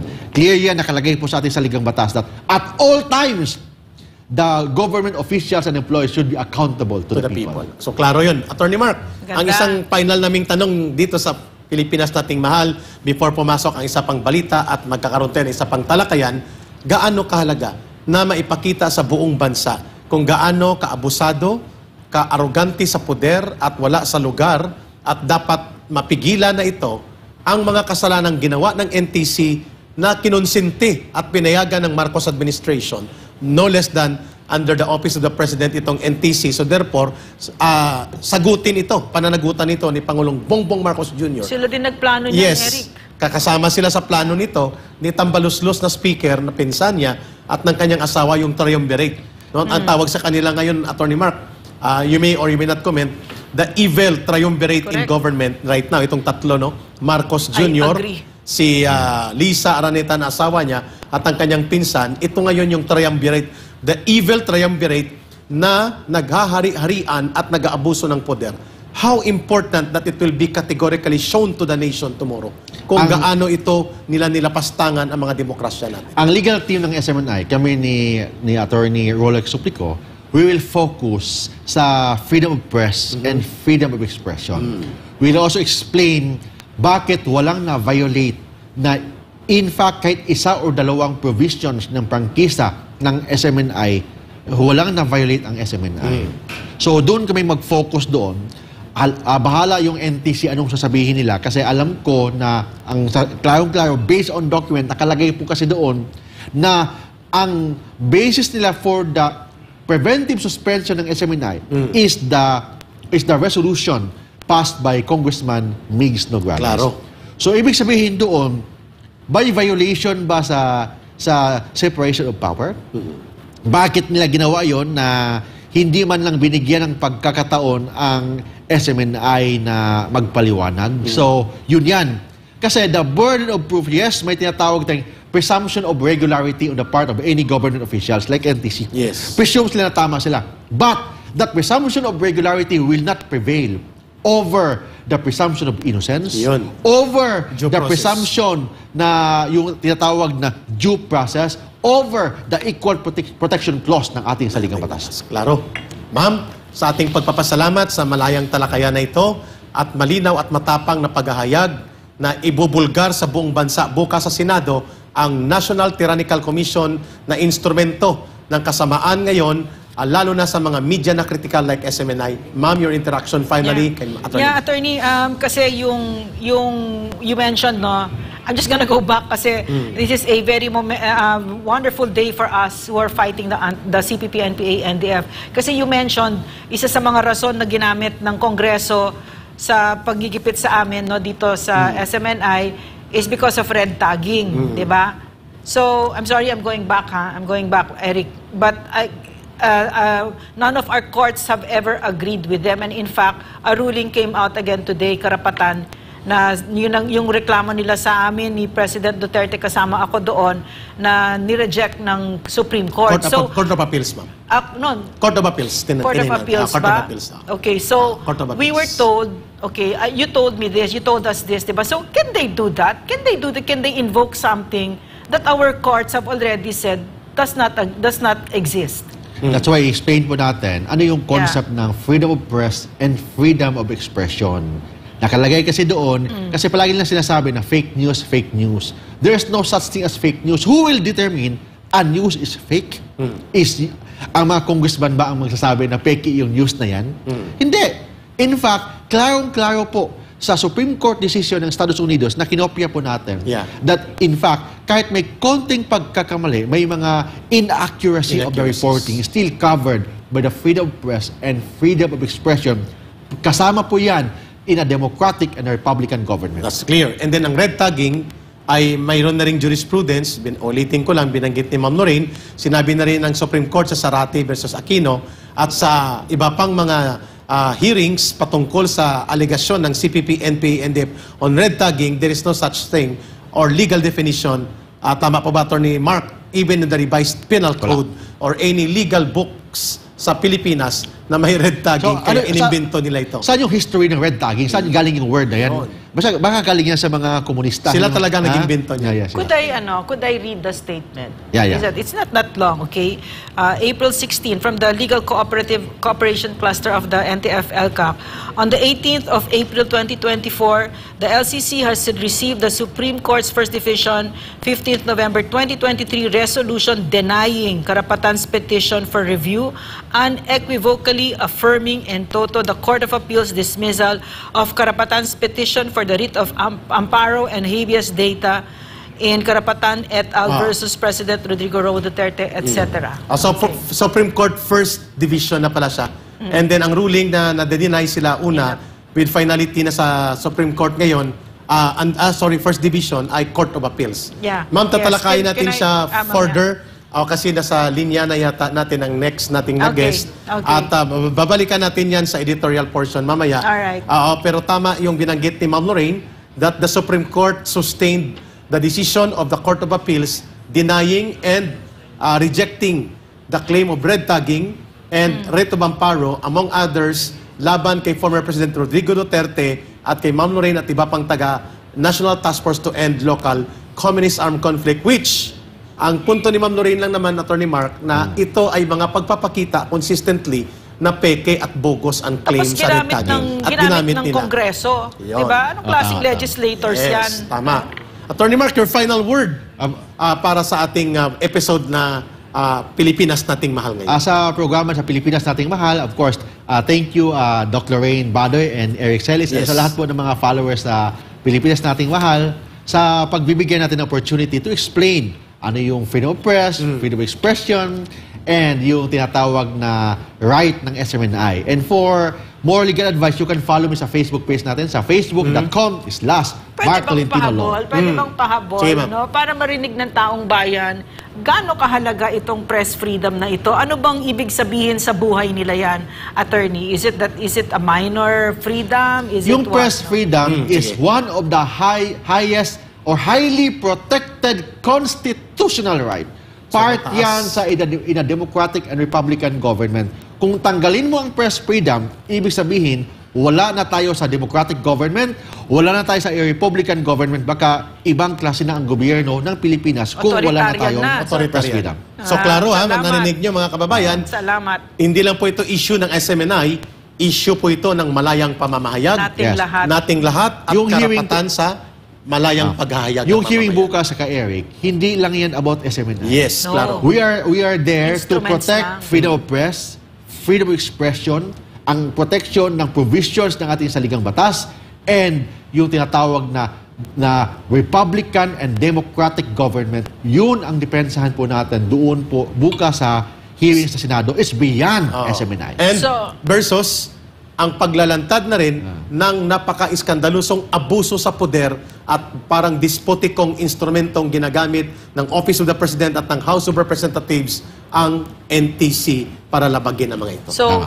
ang ipinaglalaban ninyo doon bukas ay ang Pilipinas. Yes, Correct. tama. So magtutulungan po. tayo dito. Hindi hindi ito kaya lang ng aming mga abogado Tama. or ng SMNI mag-isa.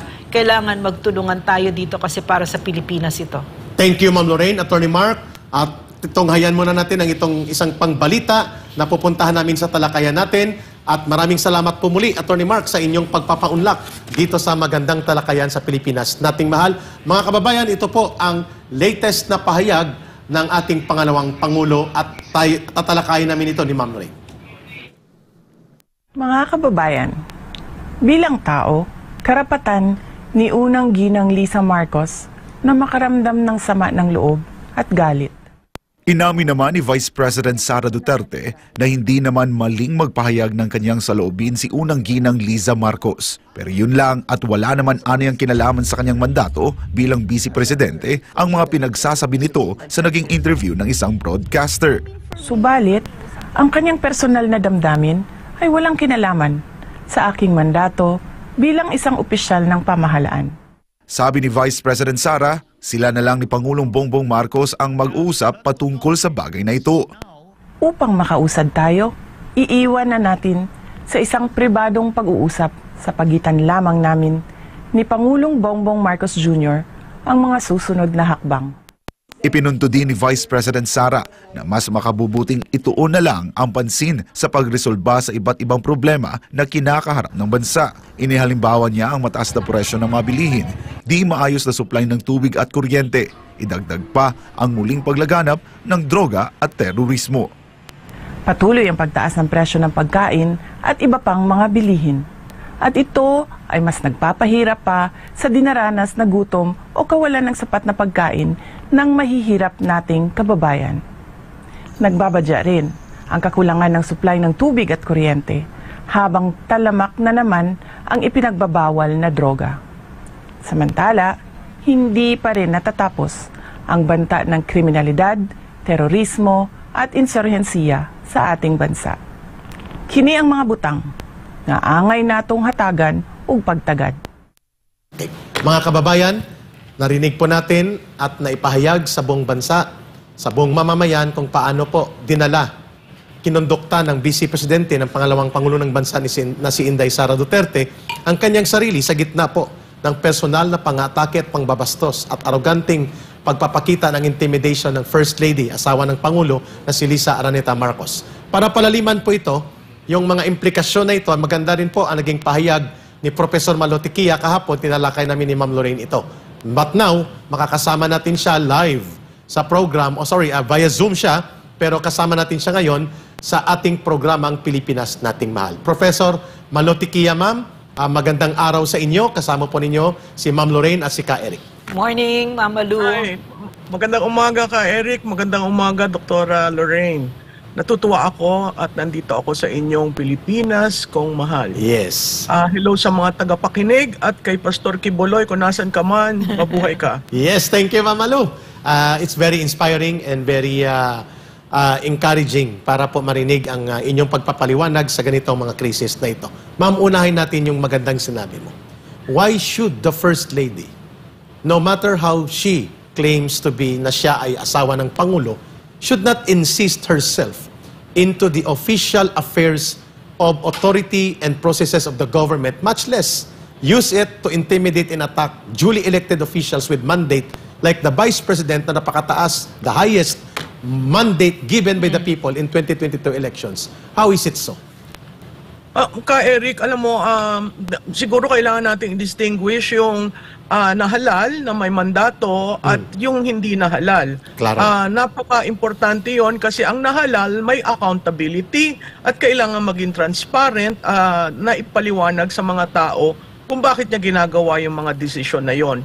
Yung hindi nahalal, Ah, i- hindi ka kailangan, I mean, hindi ka naman appointed na katulad ng mga cabinet secretaries, hindi ko maintindihan saan siya kumukuha ng poder para magsalita. Makikita natin sa column ko today, ah, pinaliwanag ko doon, meron tayong 15 na first ladies, first gentleman. Ah, sinabi ko doon isa-isa anong ginagawa nila. Wala tayo kahit na ang dating First Lady Imelda Marcos, nabigyan siya ng katungkulan sa SM, MMDA, pero hindi natin nakitang ah, bumaba siya sa level na ganito.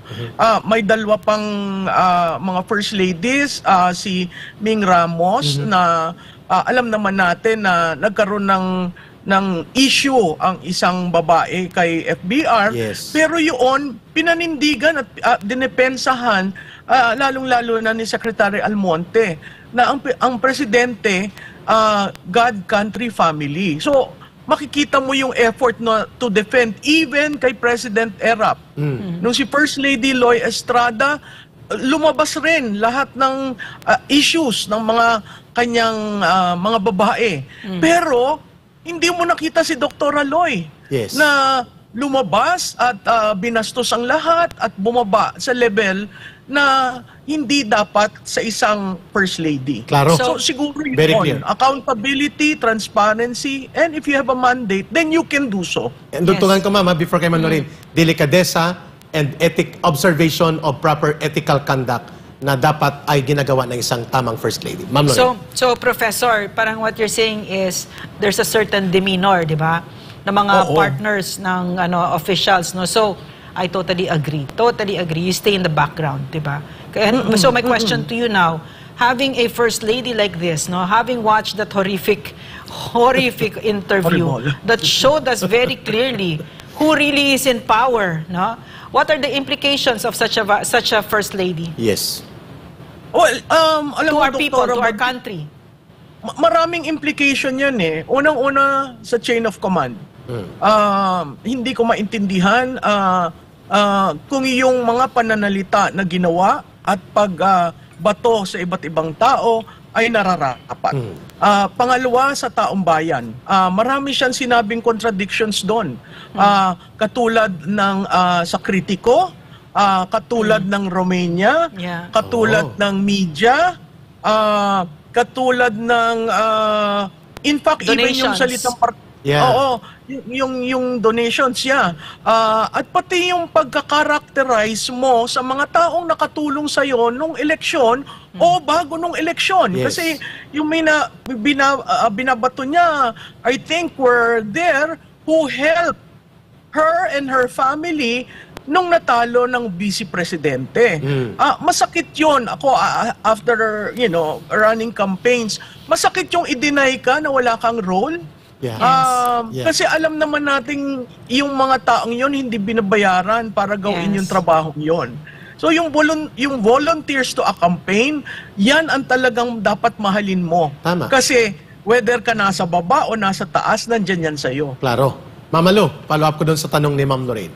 Bago, ko, na, na- ba- bago tayo lumipat sa issue ng tapang-tapangan at napakadelikadong war, jingoism or war posturing ng Marcos government ngayon sa dispute ng Pilipinas at China. Ma'am, gaano kaimportante na ganon ang pagsagot ng Vice Presidente, ang binanggit niya very clear, ano man ang saloobin ng unang ginang, unang First Lady, ay nirerespeto ko dahil damdamin niya yon bilang tao. Pero hindi nanggagaling ang mandato ko at pananagutan sa kanya, kundi sa taong bayan at sa buong bansa. How important that kind of position taken by the Vice President amidst the scandalous personal attacks, cheap blows na ginawa ng First Lady Elisa Araneta Marcos against sa kanya. Um, um, ka Eric, alam mo mag, ah, mahalaga yung paglalagay niya ng linya sa lupa. Ah, um, kasi ah, pinapakita lamang niya ni Vice Presidente ang respeto sa mandato. Klaro. uh, uh, although she respects the position taken by the by the uh, uh, first lady, uh, klarado na si BP hindi papatol sa kanya. Klarado na hindi siya bababa sa level na yon kasi Yun. mahalaga sa kanya ang mandato ng tao. Ah, klarado na between sa presidente at sa vice presidente yon. Hindi naman niya hiningi yung position eh. Tama. Ah, so kung kaya niya sinabing pribado, kami ang mag-uusap. Katulad na rin ng pribado nung siya'y kinonvince. Yes. Ha? Ah, makikita mo yung relasyon ng dalawa kasi sila lang yan eh. Kasama siguro si Senator ah, Amy. ah, Amy. And in all the process of courting the Vice President, wala doon Ang si Attorney ah, Lisa Yes. Araneta Marcos. Ah, makikita niyo yan, nasa kaysaysayan yan. Ah, she never figured there. Klaro. Because it was entirely the decision of the President, now the President, and uh, the sister. Unfortunately, uh, ang kapatid eh wala sa eksena. Um, so, ang talagang sasagwan sa problemang ito ah, dito sa unos na dinadala ng First Lady ay ang Pangulo at ang Vice Pangulo at sila lang dalawa Yes. ang magkakaintindihan kung ano ba. Ako ba eh ah, ayaw mo na sa akin o ako ba ay dapat magbitiw? Nasa sa kanilang dalawa yan as any cabinet secretary is. klaro. Ah, unfortunately, ah, two personalities dito si Secretary of ah, Education. She is the Vice President. Yes. Duly Attorney, ah, elected by 32 million. Klaro. Ma'am. Professor, um, I come from a political family, and so I know. And, and uh, I was like the, the political spouse of my father. No? So we knew our place. You had to know. And it very clearly, if you make, dapat mag-blend ka lang sa background or kung mag, magpapakita ka, you have to be an asset. Diba? Kailangan maayos ka. Hindi bagahe. Hindi ka bagahe. Pero nakita natin, no, apart from, okay, that interview, that horrific interview, I'd like to go back there, uh, showed to us the, the, yung kalidad ng First Lady natin. Napakababa ng kalidad ng pag-iisip at mukhang, mukhang kargado pa. It- it's like she was onto something. It's like she took something. Maybe she was drunk or I don't know. Plus, of course, I cannot, I cannot discuss this without discussing the elephant on the room. This drug addiction, Drug this, addiction. this, uh, all of this that's going on in Malacanang that they've not responded to ever, di ba? And so, um, ano yung ano yung implikasyon no, no sa Pilipinas na yung nagpapalakad sa pami ng sa gobyerno natin ay itong ganitong klasing first number one, first lady, siyang wala siyang mandato, walang bumoto sa kanya at number two, yung kalidad ng Yeah. pagkatao niya. Go ahead po, Well, Professor. uh, D- Dr. Lorraine, no, da- dalawang bagay ang sinabi mo doon at dalawang bagay ang nagsa-stand out sa akin. Abogada siya. Hindi siya miyembro ng mafia. So nagulat ako sa pananalita, Yes. nagulat ako sa Tumbok. actuation, sa body language. Nakakagulat. Ah, hindi ko akalain na ah, ang isang lawyer, um, Ateneo, mm, New York, ah, would utter such words. Yes. Ah, pangalawa, the fact na ginamit mo yung bangag, for me is like admitting. Kasi kung, kung, kung hindi kung hindi issue yon, you will drop it. Yes. But it, if it's part of your public utterances, anong ibig sabihin nun? Klaro. Dapat nga nagalit siya eh, di ba?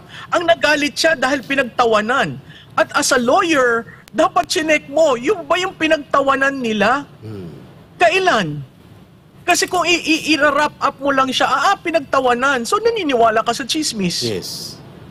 as a lawyer, um, yun ang conflicting sa akin. At uh, I was expecting more from her dahil lawyer. Now, Yes. maganda yung sinabi Yeah, ni Ma'am. Ma'am, babalik ko sa Mm, kayo. yes. Maganda yung binanggit mo, ha, pangahawakan namin yan sa Pilipinas nating mahal. Bilang Para, abogado. bilang abogada, she should have conducted herself as a lawyer, as a member of the bar, rather than act like a mafia boss. Ma'am Lorraine. Ano, Professor, in one of your interviews, I like so much what you said, no, that um, you're not there to enjoy yourselves. No? Yes, you're not in. Malacanang to enjoy yourselves. And, and like it or not, kasama ang spouse dyan and the children, everybody. In other words, no, you have to be very Hmm. clear that when you ask for the presidency or in any any position, public service is really pag-aalay ng sarili. No, Tama. this is really a sacrifice. And this is what we went through with President Rodrigo Roa Duterte. And I tell you, it was really pag-aalay ng sarili. So, and yet, what bothers me when I see, when I heard her, no? When I heard her, nagko-complain siya na bangag. Ganyan lang, ganyan lang, nagagalit ka na, di ba? Eh, dapat niyayakap mo yung, ano, yung pangbabashing and lahat, no? So, nakita ko kasi, it ties up with what we've seen, no? That they think the presidency is their license to steal, to do whatever they want, to party all they want, to travel all they want, using taxpayers' money, to do whatever they want, every scandalous thing. It's not really about the Filipino people. It's about enriching themselves. No, okay. And What do you- having it as an yeah. entitlement, ang power na ito. Yes. Yes, Yeah, at- I ah, agree. Professor I, Mano. I agree with I agree with you, Dr. Lorraine. No, um, it's not about privileges. It's not. Uh, when you serve, uh, when you run for office, you don't look at the privileges. You look at how can you help. How can you better the lot of Filipinos? Kaya nga natutuwa ako dun sa sagot ni BP. Parang, oh, refocus na tayo. Ito ang Yeah. kailangan. Yes. Ito ang problema. Um, at at makikita mo ah, yung mga problemang sinasabi niya at paulit-ulit, sinabi rin niya noon Yes. na Yes. focus na tayo, trabaho na tayo. Unahin natin ang Pilipinas. Na dapat yun talaga, unahin mo ang Pilipinas. Hindi pe pwede yung ang uunahin mo ay ang pagpapaganda. Hmm. Ah, naandun na ako. Ah, dalawang administrasyon ang walang first Sino ladies. Ah, pagpapaganda ng mga yung houses, everything. Yeah.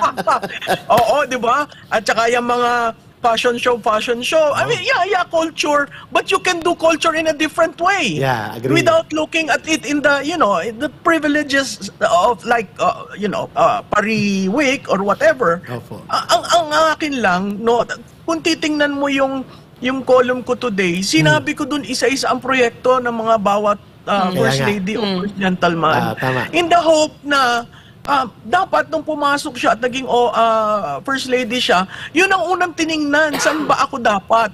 Ano ba dapat ang gagawin ko? Hindi ka dapat nakikialam ah, sa day-to-day governance. Ah, nandun ka para tumulong sa asawa mo. Tama yung sinabi ni Dr. Lorena, part ka ng, ng, ng, ng pasad sa likod. Ah, hindi ka nakikita, ah, hindi ka nagpapapalakpak, di ba? Ah, naandun ka dahil may role ka. Yes. Ang role nun is, ano ba yung mga social welfare progr- programs na pwede kong gawin? Ano ba yung, yung, yung mga naumpisahan ng mga vice presidents noon na pwede kong gawin? Katulad ng sinabi ko, may dalawa tayong presidente na walang first lady. Mm. Ah, si President Noynoy Aquino, Saka yung si mga kapatid President ang tumulong, ah, at tahimik, nasa background, no? Ah, except probably si Chris, Si Chris Aquino, Aquino. dahil artista, no? Ah, and then President ah, Duterte. ah, ah, Duterte. Ah, pwede namang si Hanilet pumapel, si Madam Hanilet pumapel, pero in fairness to her, Hindi niya ginawa. she stayed in the background. Also, even no, the uh, Professor, even May yung, I- yung may- unang asawa, si uh, si Mrs. Zimmerman, she stayed in the background. Mrs. So, yeah. at ang mga anak stayed in the background. So, ay, hindi ko maintindihan, parati niya kasi sinasabi, ang pangit, iniwan ang Malacanang na pangit na pangit, binaboy. But you know, it's What? not about, yeah, that was intimated to me. So, sabi ko, but you know, it's not really putting, you know, all these privileges together. Ito, Ah, Professor, may I just interrupt, no? Sure, sure. The, the reason that uh, Ma'am Hanilet, Mrs. Zimmerman, no, and, and all the others, why they kept, they knew their place was because the President was very clear.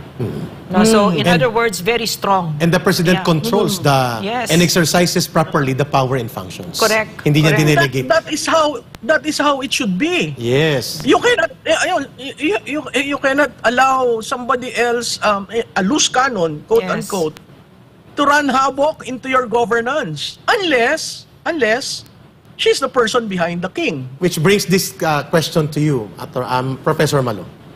Hindi na may pagtatanggi nang nagpapatakbo, real, really, ng gobyerno ni Bongbong Marcos Jr., shared ang poder na ito sa papel, sa public uh, interview, si Marcos Jr. Pero deep inside, nandyan si Lisa Araneta, asawa niya, tsaka yung pinsan na nagmamaniobra. One proof. Kumakalat ang recordings. Hindi nila dinideny. Hindi nga sinagot doon sa modus operandi at well-funded interview ni Taberna ang kanyang involvement sa extraction operation sa Turkey. Short for kidnapping gamit ang intelligence service of the Armed Forces of the Philippines with full recording ng kanyang ginawa as if siya ang commander-in-chief at presidente. Hindi niya ito dininay, hindi niya sinagot. Number two, ang kanyang pangingialam sa appointments ng mga commanders ng military, including sa ISAF, sa Intelligence Service of the Armed Forces, na sinabi ng kanyang, ah, ng kanina ng ah, Social Secretary na si Bianca Sobel, nagpapaalam sa kanya sapagkat siya ang kinokonsulta sinong ilalagay sa ISAF, which is illegal, bawal ito. Third, ang kanyang pangingialam dito sa mga iba't ibang mga appointments like kay Vic Rodriguez, kay Trexie. Recorded din ang kanyang pagtawag kay Tonying, nag-I love you pa. Inireport niya ang pagtanggal na kay Vic Rodriguez and later on kay Trixie. So it appears, uh, Professor Malo, na ang inyong ikinababahala at inyong ipinapaalala sa mamamayan, there is now a dangerous pattern of failure of leadership towards collapse of authority of the president because nangingialam ng iskandalosong pamamaraan itong First Lady. Are you of the same line of thought? Uh, yeah, I agree with that because I I receive uh, information. Uh, in, in- Alam mo ka, Eric, dati akong PMS. Yes. Ah, nung panahon ni uh, Cory Aquino. Cory Aquino. So, may mga kaibigan tayo dyan hanggang ngayon nandyan. Ah, May mga kaibigan rin ako nagre nagre-resign ah, dahil hindi na nila gustong nangyayari. Mm, So, nung, nung nagugulat ako kasi ang PMS dati was the COG. Technical COG yan ng, ng, Ng ng Office of the President. Office of the President. Lahat, appointment and everything, that's, that has changed. Ah, at ang nakakagulat doon, yung ya, ya- kaya ako nasabi hindi ka leader ng mafia. Kasi yung extraction na yan is really shocking. Ah, because there's recording. May recording, kumakalat. Diba? Kumakalat. Oo, at saka ang nakaka-shock doon because you are using um, the the machinery of government and the agents of government Correct. to do a private favor Yes. uh, to someone who allegedly was uh, a campaign donor or Hmm. something. Tama. Uh, I, I, th- this is at the start. So makikita mo at makikita yan that will bear out because nagkaroon talaga ng changes sa ISAF uh, director. Yes. Ah, na um, mahirap mong ma-explain kasi walang rason na binigay. Yes, at So, Klaro, klaro. Professor. Oo. So, so y- y- y- yung extraction na yan, the more na mapapag-usapan, the more makikita mo na ah, sandali lang, ah, ikaw ba nasa chain of command to Yun. order that? Sandali lang, ah, DFA, pumayag ka? Dahil sa First Lady? Sandali lang, Social Secretary, you were part of this? Yes. So, Correct, so correct. ito, ito pag na-reveal ito, ah, matinding problema ang madadala nito sa kasulukuyang administrasyon. Kasi nagsisimula pa lamang ginawa yan. Imagine mo, ngayong two years ka na, ano pa ang mga ginagawang illegal? Yun. Professor. Di ba? Ay, yan ang napakahirap kasi lalo na pag ginamit mo ang kasundaluhan. Professor, so the strength of a democracy, no? Kasi yung yung kapangyarihan very prone to abuso talaga yan no? Ng mga nakaupo sa poder. But the strength of a, a democracy is that there are checks and balances 'di ba? Merong merong mag merong pipigil sa mga abusado katulad ng abusadong first lady na yan na hindi na niya alam yung kanyang linya 'di ba?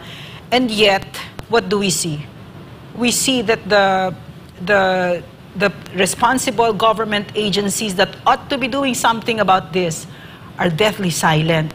For instance, the PIDEA with the recent documents, no? Right away, sumagot, it's a fake document, yung kay Maharlika. And then yet, when she was able to come up with um, proof that it wasn't, now they're deathly silent. Yes. So, in my, my question to you now, no, is that um, our democracy is really sirang-sira kasi itong itong pananahimik no? Even of the ISAF that's part of the AFP like you said Yes. earlier. Yeah, paano yun? Kahit yung kasundaluhan natin. So could you please expound on that no? Um, it's not the abuse of power but that it is being allowed by those who can do Oo. something about it that it's their mandate to not allow these kinds of abuses.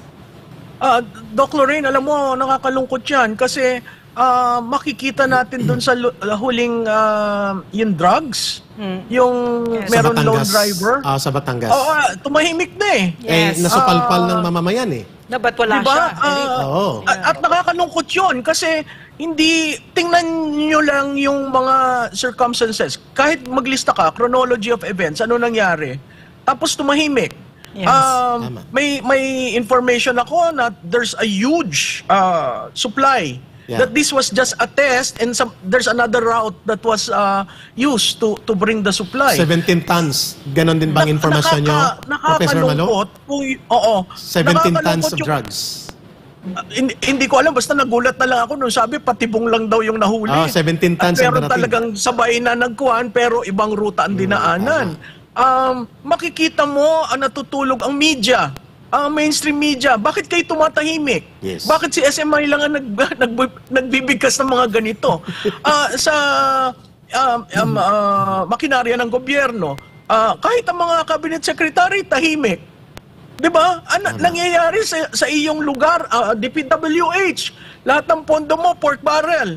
Yes. Lahat ng ini-implement ni Secretary Bonoan, pork barrel. Pork barrel. Ano nangyari sa malalaking projects? 'Di ba nakakalungkot malaman 'yan? Ah, um, marami pang mga nananahimik ngayon na kailangang magsalita. Hindi dahil gusto mong i-expose, pero dahil accountable ka. Kailangan maging transparent ang ang ang paninilbihan at, at kailangan maging accountable ka. Claro. Um, la- lalo na i- siguro doon sa mga kasundaluhan, no? Ah, alam ko marami sa inyo bumubulong ah, sa tabi-tabi Mm. pero ayaw magsalita. Um, hindi ho natin nais ang nangyayari. Ah, pero mas lalong hihirap kung hindi natin i-confront itong mga problemang ito. Kailangan ho natin i-confront yan. Yes, mamalo. Ang tanong ngayon ng mamamayan, sa gitna ng malala na mga krisis pang ekonomiya ang kinakaharap natin, sumisirit ang presyo ng bigas at pagkain, bumabagsak ang kapasidad ng mamamayan na makabili, at ang kita at ang kabuhayan lumiliit at nagninipis. Lumalalim ang, ang mga hidwaang politikal na parabagang hindi na in charge ang Pangulo sa nangyayari hindi niya alam anong paano ito stabilize samantalang ang kanyang mga pronouncement ay tapang-tapangan. Nagtatapang-tapangan at parabagang gusto niyang pagtakpan ng kanyang ultra-nationalist narratives and propaganda na parabagang lulusubin na ang China. Gaano kadelikado po ang ganitong pagdudugtong at pagtatakip obviously sa kanyang incompetence and deeper problem of leadership versus a very dangerous track ng pagmilitarize sa issue ng dispute ng Pilipinas sa China sa kasalukuyan at parang ito ang kanyang ginagamit na exit para maiwasan itong kanyang pagkukulang at malubang iskandalusong abuso sa kapangyarihan ng mga taong nakapaligid sa kanya like ang asawa niya at pinsan niya. Professor Malo. Ah, ka Eric, alam mo problemado yung yung yung kagustuhan niya ah, na makipag-away tayo. Unang-una, ah, wala tayong issue sa Taiwan. Ah, Hindi natin yung problema. Problema yan ng China. Ah, yung kagustuhan niyang armahan ah, ang sandatahang lakas. Ah, nakakatakot dahil hindi naman ho tayo handa sa usapan yan. Ah, pero makikita mo na that is a page from the American ah, strategy Claro. of if you are kung mababa ka sa domestically, kung hindi mo nagagawa ang mga problema mo domestically, kung ang ekonomiya mo ay bagsak, kung ikaw ay bumabagsak sa mga ratings, punta ka ng gera. Iyon. Mawawala ang taong bayan dyan sa focus sa'yo, malilipat dun sa gera. Obvious. Ah, ang problema natin dyan, wala ho tayong conscription. Ano ho yun? Yung mandatory na lahat ng Pilipino nagsaserve. Mm. Ah, kaya nga ang parati kong patawag ay padala niya yung tatlo niyang anak na lalaki. Yes. Mauna sila. Tingnan natin kung pupunta yan. Tama. Pangatlo, wala ho sa kultura ng Pilipino na nakikipag-away. Ah, makikita mo tayo ay uh, masyado tayong mahaba ang pasensya. Proof of that, ah, nakita natin ang gera sa Amerikano, sa Espanyol, sa ah, sa Hapon. Ang tagal ng taon bago tayo nagalit at talagang hinawakan natin ng at itak. Yun din sa martial law. Ah, Yes. Hindi tayo kaagad nagalit. Ah, mahaba ang ang pasensya ng Pilipino. So dahil sa shoal, sa atol, Sa bato-bato. ano yun? Ah, nagkakaroon lang ho yun ng kurba pag mababa ang dagat. Makikipagpatayan tayo, pwede naman tayong makipag-usap. At yun ang ginagawa natin. Ha? Pwede na tayong ah, bilateral, multilateral, Yes. o we get a third party to mediate. Ang daming paraan. Merong 46 points ang China na binigay sa DFA. Hindi ninyo sinagot yan, ah, Pangulong Marcos. Bakit po? Gusto nyo talaga makipaggera? Ay hindi po yan ang gusto ng mga Pilipino. Sana pakinggan nyo kami. Hindi nyo na kami pinakinggan sa EDCA na naglagay kayo ng siyam na walang kaatog-atog, eh, nagulat na lang ang local government units, ay, kailangan maglagay tayo dito. Ha? Ang sinasabi, wala daw base militar, yun daw ay basis ng Pilipino. Hindi ho yun tama. Kasi di ba ho na-deliver na sa Bataan? Ha? Lugar na napakatahimik, lug- last frontier natin, ang mga tao very honest sa Bataan, no? Bigla mong linagyan ng ah, ng garrison diyan at lilalagyan nung nung dineliver sa atin last week. Na Brahmos Ah, nagsimula na ang ang ah, balikatan, ha? Na ilang nations nandun para tayong makikipaggera. Bakit?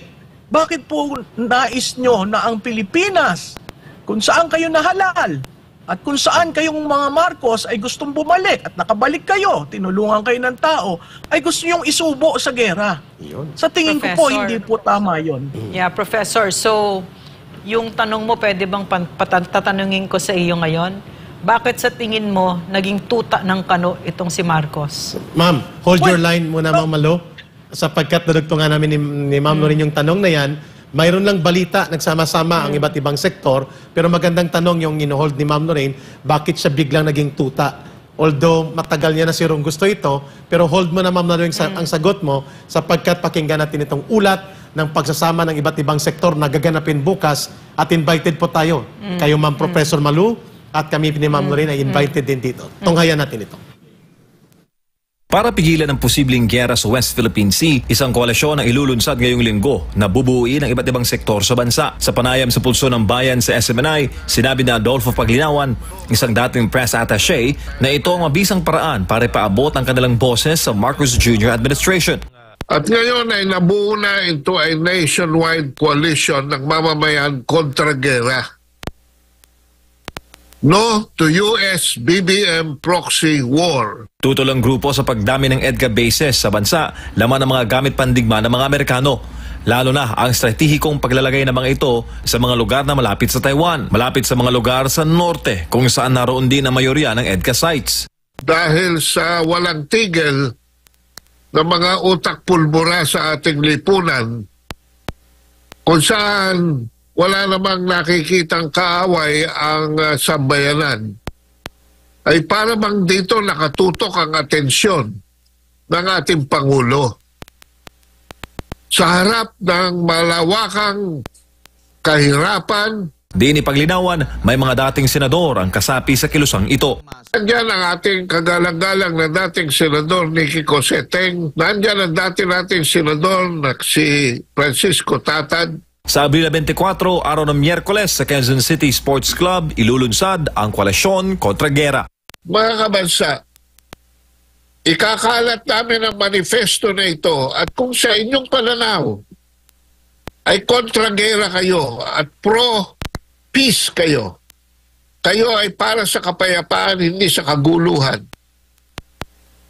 Pumirma po kayo dahil ikakalat namin ito sa sambayanan para malaman na ninyo kung ano talaga ang ginagawa ng ating gobyerno.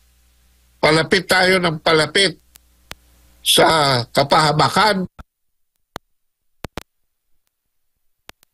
Mga kababayan, ah, Professor Malo, ah, your answer dun sa tanong ni Ma'am Lorraine, bakit biglang paninikluhod at cheap puppet ang role ni Bongbong Marcos Jr. at tapang-tapangan naman laban sa China mula doon sa balita na nakita natin? Oh, dalawang bagay lang, Doc Lorraine, ang pumapasok sa isip ko, no? Una, ah, hindi siya maaalis. Hindi mangyayari yung nangyari sa tatay niya. Ah, so, susunod siya sa mga kagustuhan ng Amerikano. Pangalawa, para mailabas yung pondo niya. Oh. Ah, yung pondo ng Marcos, no? Ah, at yun, consistent ako sa kasasabi na lahat ng ginagawa niya is to soften up. ah, kasi nakita naman natin yung pondo is ah, worldwide, eh, no? Yes. So pag nagbigay ang US ng command, marirelease yun. Ah, ngayon, ipapagkatotoo ba niya ang ah, will ng tatay niya na ibigay ang 99 ah, 90% sa Pilipino at 10% lang sa pamilya? Yan ang malaking question. Kasi kung titingnan mo, kailangan natin yung pondong yan kasi kung totoo yung 80% ng ng budget for 2024 eh nailabas na. Yes. Ah, anong mangyayari sa atin? So we are relying on um, the the the earnings from a war, from a proxy war Yes. uh, between the second quarter to the last quarter of this year. Uh, nakakabahala, especially in the light of what the House of Representatives sa US uh, ang dinicide, no? Uh, ang laki ng release sa Israel, sa Ukraine. Sa Ukraine. Tayo, Barya. parang kwan lang, drop in the buck Yes. sa Pilipinas. Eh, hindi naman tayo ang may gera. Tayo nga ang gusto nilang bi- ibigay na ang bansa natin as plataforma para sa gera. Ah, nakakalungkot yan kasi makikita mo, ah, tuta pa rin tayo ng mga Amerikano kahit sa usapang gera, sa usapang budget na tulong sa gera, ah, at sa pangangailam sa ating mga mga ito, nakikita niyo yung picture na ito, pangingialam sa ating internal ah, domestic affairs. Nakakalungkot.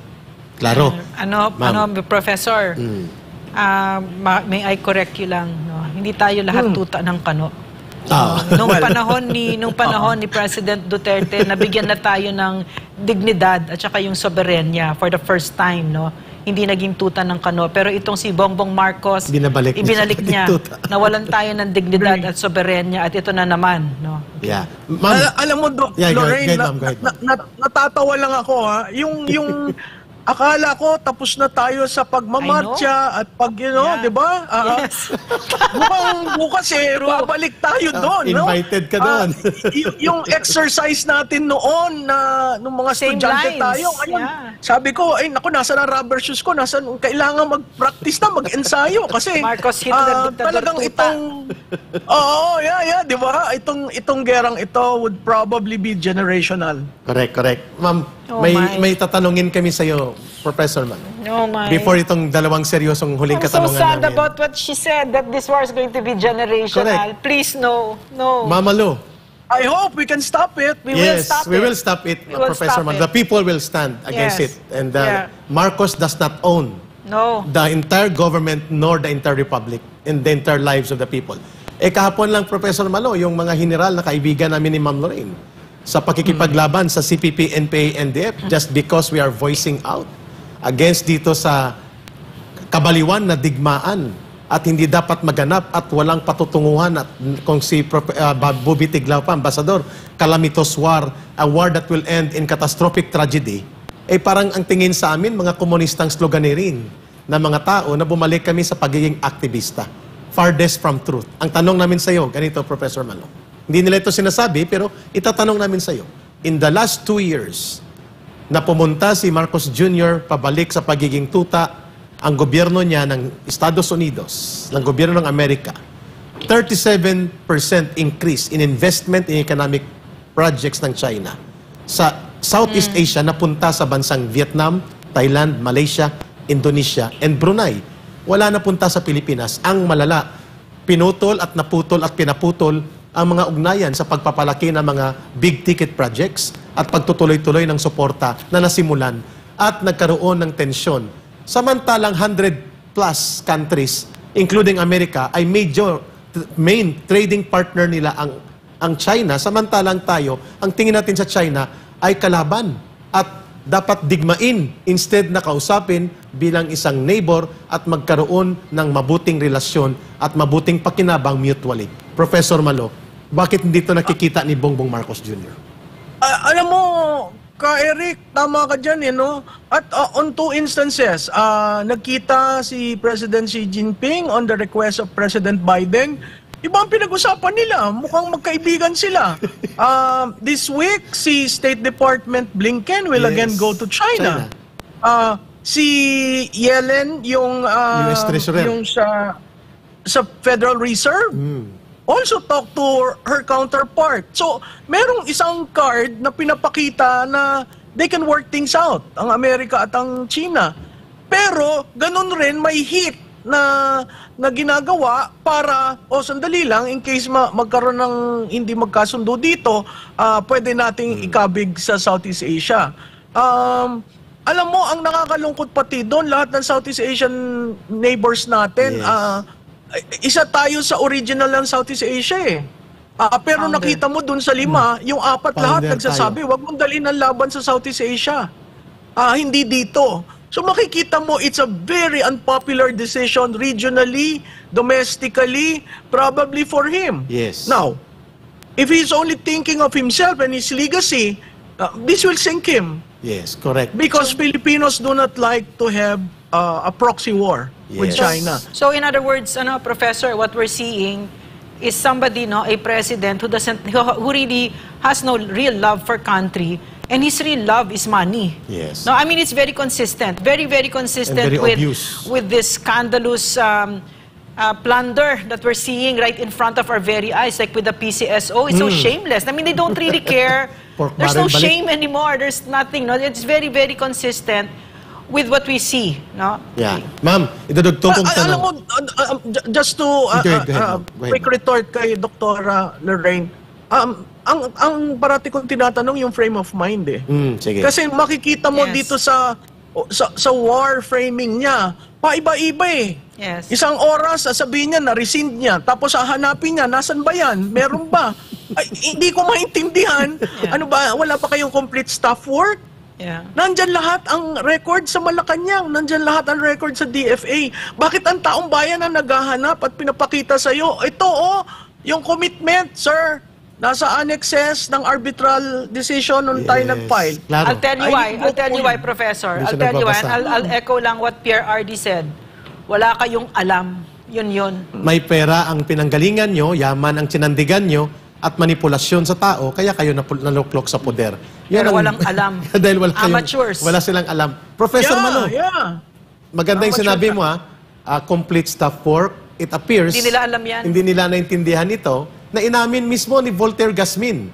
General Voltaire Gasmin, Yes, previous yes.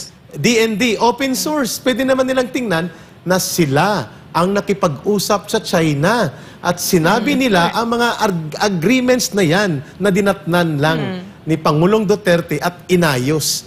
So ngayon, sinasabi ni Professor Manotikia, hinahanap niya dahil sino bang dapat sisisihin niya? Patay na at nakalibing na na si Noynoy Aquino o si Rodrigo Duterte na naging kritiko niya ngayon? At saka ka, Eric, for you, for the president to say, oh, kung yan, I'm rescinding it. Th- that's, that's presidential? Very And then, unpresidential. the following, you look for, oh, ano ba yung talagang pinag-usapan? Eh, hindi naman sinasabi sa akin, come on, this is, this is live, ha? Yes. You say that to the, I mean, kaya nga ako frame of mind eh. Yes. Ah, at makikita What mo, a disaster. when- whenever there is a, a document for him to read, he performs well. Performs Pag well. binabasa niya. Yeah. Pag in-interview, he, he stutters and go to as far as the moon. so, I don't know. Nakita mo, Professor Malo, no? Ah, mamaya, komentaryuhan mo. Pati doon, naging scriptwriter siya, naging floor director siya, at naging press Ay, con facilitator sa drug bust sa Batangas. Staged. Oo, Yeah. ang pulis, hirap na hirap. Anong gagawin? Yeah, Pinagtawan. horrible. Tapos sasabihin mo doon sa sundalo mo, oh. Huwag mo sasabihin lang, ano come on. First time. First. Sa presidential stage. Terrible. Nakita mo yung ganong... ah, pero ano, pero nakita mo ano um, Professor and Eric no, Mm. kung gaano ka-amateur itong team na ito. Uh, Exactly. Cheloy Garafil was there, no? And yet, it was the president that moderated for a captain, a police captain. Na First in Philippines. It's just so shocking. And there was no, there were no, basta so many things were Yeah. con- contaminated talaga yung ano, no? So, Ma'am, itong oo, tanong at- natin. At saka Ah, tingnan mo yung, tingnan mo yung, yung, yung behavior ng mga kasama niyang Yeah. Di ba parang, na- hindi mo maintindihan kung nagulat Yeah. sila na ano. Sabi ko, ano ba ito? Na-shock. Mama Lu, ito yung tanong ng taong bayan na gusto namin marinig sa'yo. The first time kong narinig si Pangulong Duterte, nang sinabi niya that the government of Marcos Jr. is more towards the exercise of authoritarian powers rather than exercising and observing democratic procedures in the government. Sinabi niya ito sa illegal, iskandalosong pagsuspend sa gobernador ng Davao del Norte, na si Governor Hubahib, na nagbunga ng almost 80,000 to 100,000 Professor Malo ang dumagsa ng mga protesters sa Tagum City. Kung kaya napilitan siya mag-script writing and mag-direct ng isang press conference sa bogus na drug, drug by bus or drug bust or drug howl at pati ang kanyang asawa lumabas na sa pag-interview. Pangalawa, Una sa kay Hubahib na suspensyon, bin- binira na nila si Pastor Kibuloy, ang SMNI, mga programs nito, ginamit ang NTC, ginamit ang ah, House of Representatives, pinsan niya. Gin- binira na nila ngayon si Congressman Bebot Alvarez. Ngayon si Governor Mamba na naman. Ngayon ang mga local officials sa Bulacan. Kasi magkakaroon ng maisog rally. Walang formal declaration of martial law, pero ala martial law ang style, gimmick at paikot sa batas na hindi nila inaamin. But the president is very sharp. Former President Duterte sinabi niya, yan ang pattern ng authoritarianismo. Do you agree? Yeah. Ka Eric, agree 100%. And, and, and, and ang nakakalungkot dito, yung protectors of the people, yung kasundaluhan, ini-execute. Di ba? Ang, ang right to peaceably assembly is a right of everyone. Correct. Ah, oo, kukuha ka ng permit ah, dahil hindi ito sa sa Freedom Park, no? Ah, Pero pag pumunta ka ba sa Freedom Park, proprotektahan ka, nakakalungkot. Kasi ang, ang AFP, kung titingnan mo sa 1986 Constitution, klarado doon, protector of the people. In the state. Not of the leaders uh, who are currently sitting as president. Ang nakakalungkot doon yung stifling ng ng critics whether from media, social media, uh, take down mo yung page ng ganyan. Uh, alam mo uh, si Marcos matapang nag-declare, Yeah. Marcos Sr. nag-declare ng martial law. Ito, duwag. Yes. Ayaw mag-declare dahil ay, legacy, you know. Ah, pero ginagawa niya. Yes. So, anong pinagbago? 'Di ba? Ang ang gusto nga ka- kaya ka tumakbo para yung legacy ng pangalan ng ng pamilya nyo. Pero anong ginagawa mo?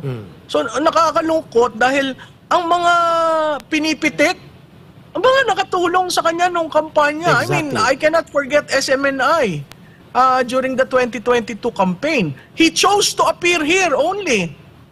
And then now what? 'Di ba? I was shocked. Yung ka Eric, yung mga pinadala mong litrato, I was so shocked. Mag-uusap tayo Parang- tungkol dyan. Kakwentuhan kita. Oo, eh, parang hello. Ah, binabatikos mo yung mga nakatulong sa iyo?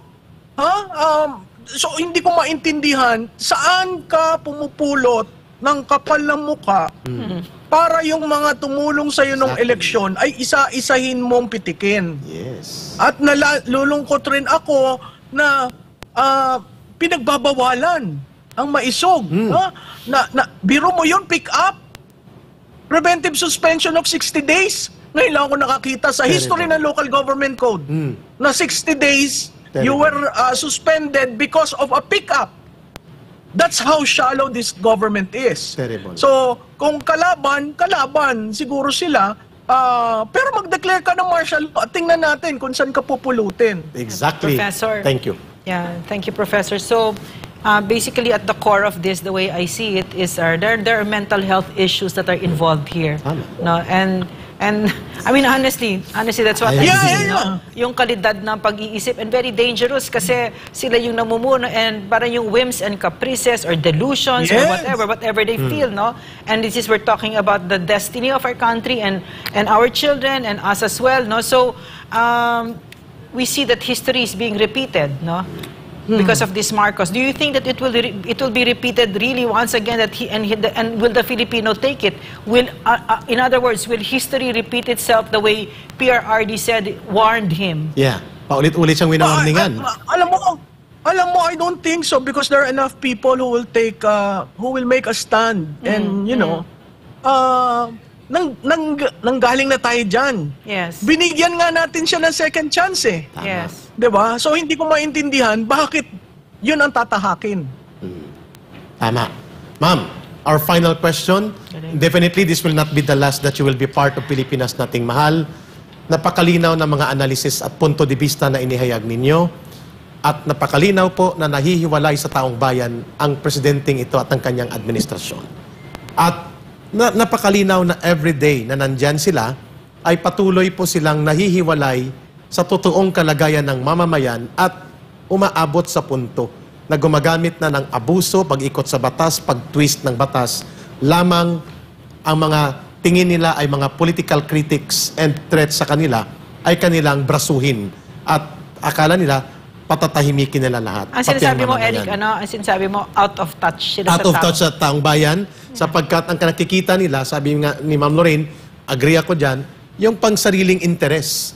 Yung sarili nila, ang mahalaga hindi ang mamamayan. Ngayon, Ma'am, ang tanong namin sa iyo, pag hindi siya magdeklara ng martial law, pero gagamitin niya itong mga taktika na ito, na ala martial law, and then pagtatakpan niya ang kanyang kapalpakan at ang pagiging incompetent at questionable mental state of decision making niya, including ang kanyang mga pananahimik sa abuso ng kanyang asawa at pinsan sa poder ng kanyang opisina at ang digmaan ng ipagtatakip niya.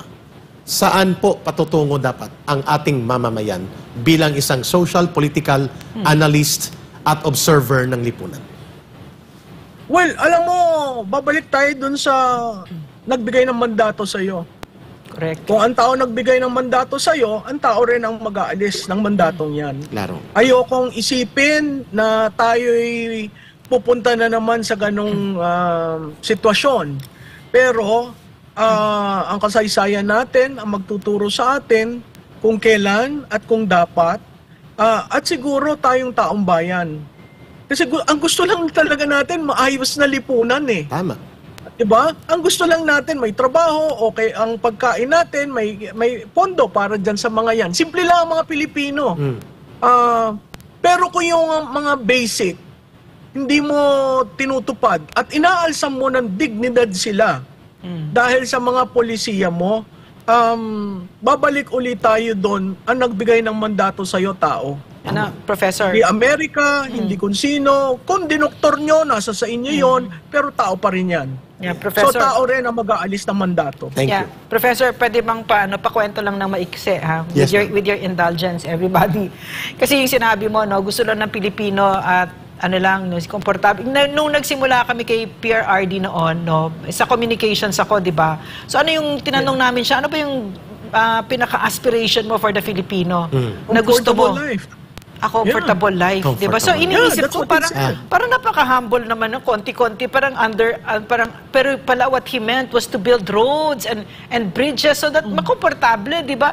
Hindi nag at saka gusto niya na walang walang krimen, para para komportable Yeah. tayong naglalakad. Hindi ka magbabayad ng tuition sa college, 'di ba? So komportable, yun pala ibig sabihin niya, 'di Claro. ba? So And so yun as a leader mahalaga yun, Lorena. no? Yeah. Mahalaga yun na ang sinabi mo, panindigan mo at gagawin mo. Yes. Sang sinabi niya, That's Ma'am Malo, ikaw nagsabi nito nang mag-usap tayo sa isang masinsinang pagtingin sa kalagayang politika, nang sinabi niya na tatapusin niya kagad ang laglag bala na kalukuwang sindikato sa airport tatlong araw na umupo. Yeah. siya tapos. Yeah. Ginawa niya. Nang sinabi niya na mauubos at mamamatay ang mga drug lord at sindikato, policeman, abogado, mayor o gobernador, nangyari nga. At talagang natakot ang mga kriminal sa kalsada na maglambotsingan Mm. at magha- maghari-harian.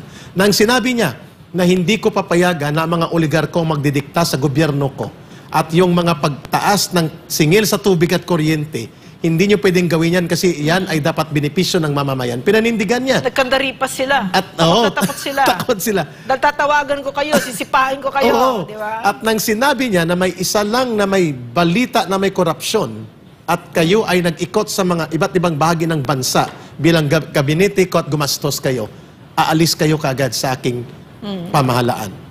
Professor Malotikia, ito po ang naging tungtungan ng mamamayan, tama po ba? Why they gave a chance kay Bongbong Marcos Jr., no matter Yeah. how clouded with controversy ang Smartmatic, Yeah. dahil naniniwala sila na siya ang remaining option for sustainability and continuity sa mga mabuting ginawa ng administrasyong nakaraan kung kaya unity and continuity. Professor Malo, ito ngayon ay wala na at para bagang ang mga tagapaglapastangan sa kanya, ito pa ang kanilang tinitipon para gamitin sa political operations na napakaaga para manatili sa poder. That, that, that would be our final question. Well, alam mo ka Eric, ah, ang isang leader kailangan certain, predictable, stable. Yes. Ah, dahil walang ah, foreign investor ang pupunta dito kung ang mga polisiya mo at programa mo hindi certain, predictable, stable. Claro. Meron tayong ambisyon 2040. Ah, natutuwa ako at pinagpapatuloy pero in words lang yata, hindi in action. So, doon sa itinanong mo, ah, napakahalaga na tuunan ang domestic policy. Ah, napakahalaga na maramdaman. Babalik na naman ako doon sa una kong komento na ako'y ah, halos tinusta. Ah, kailangan nararamdaman ang pamahalaan. Yun ang ginawa ni yes. Presidente Duterte. Simple. Mm. Maramdaman. Ah, kay Presidente Marcos, Sir, alam mo, hindi pa huli.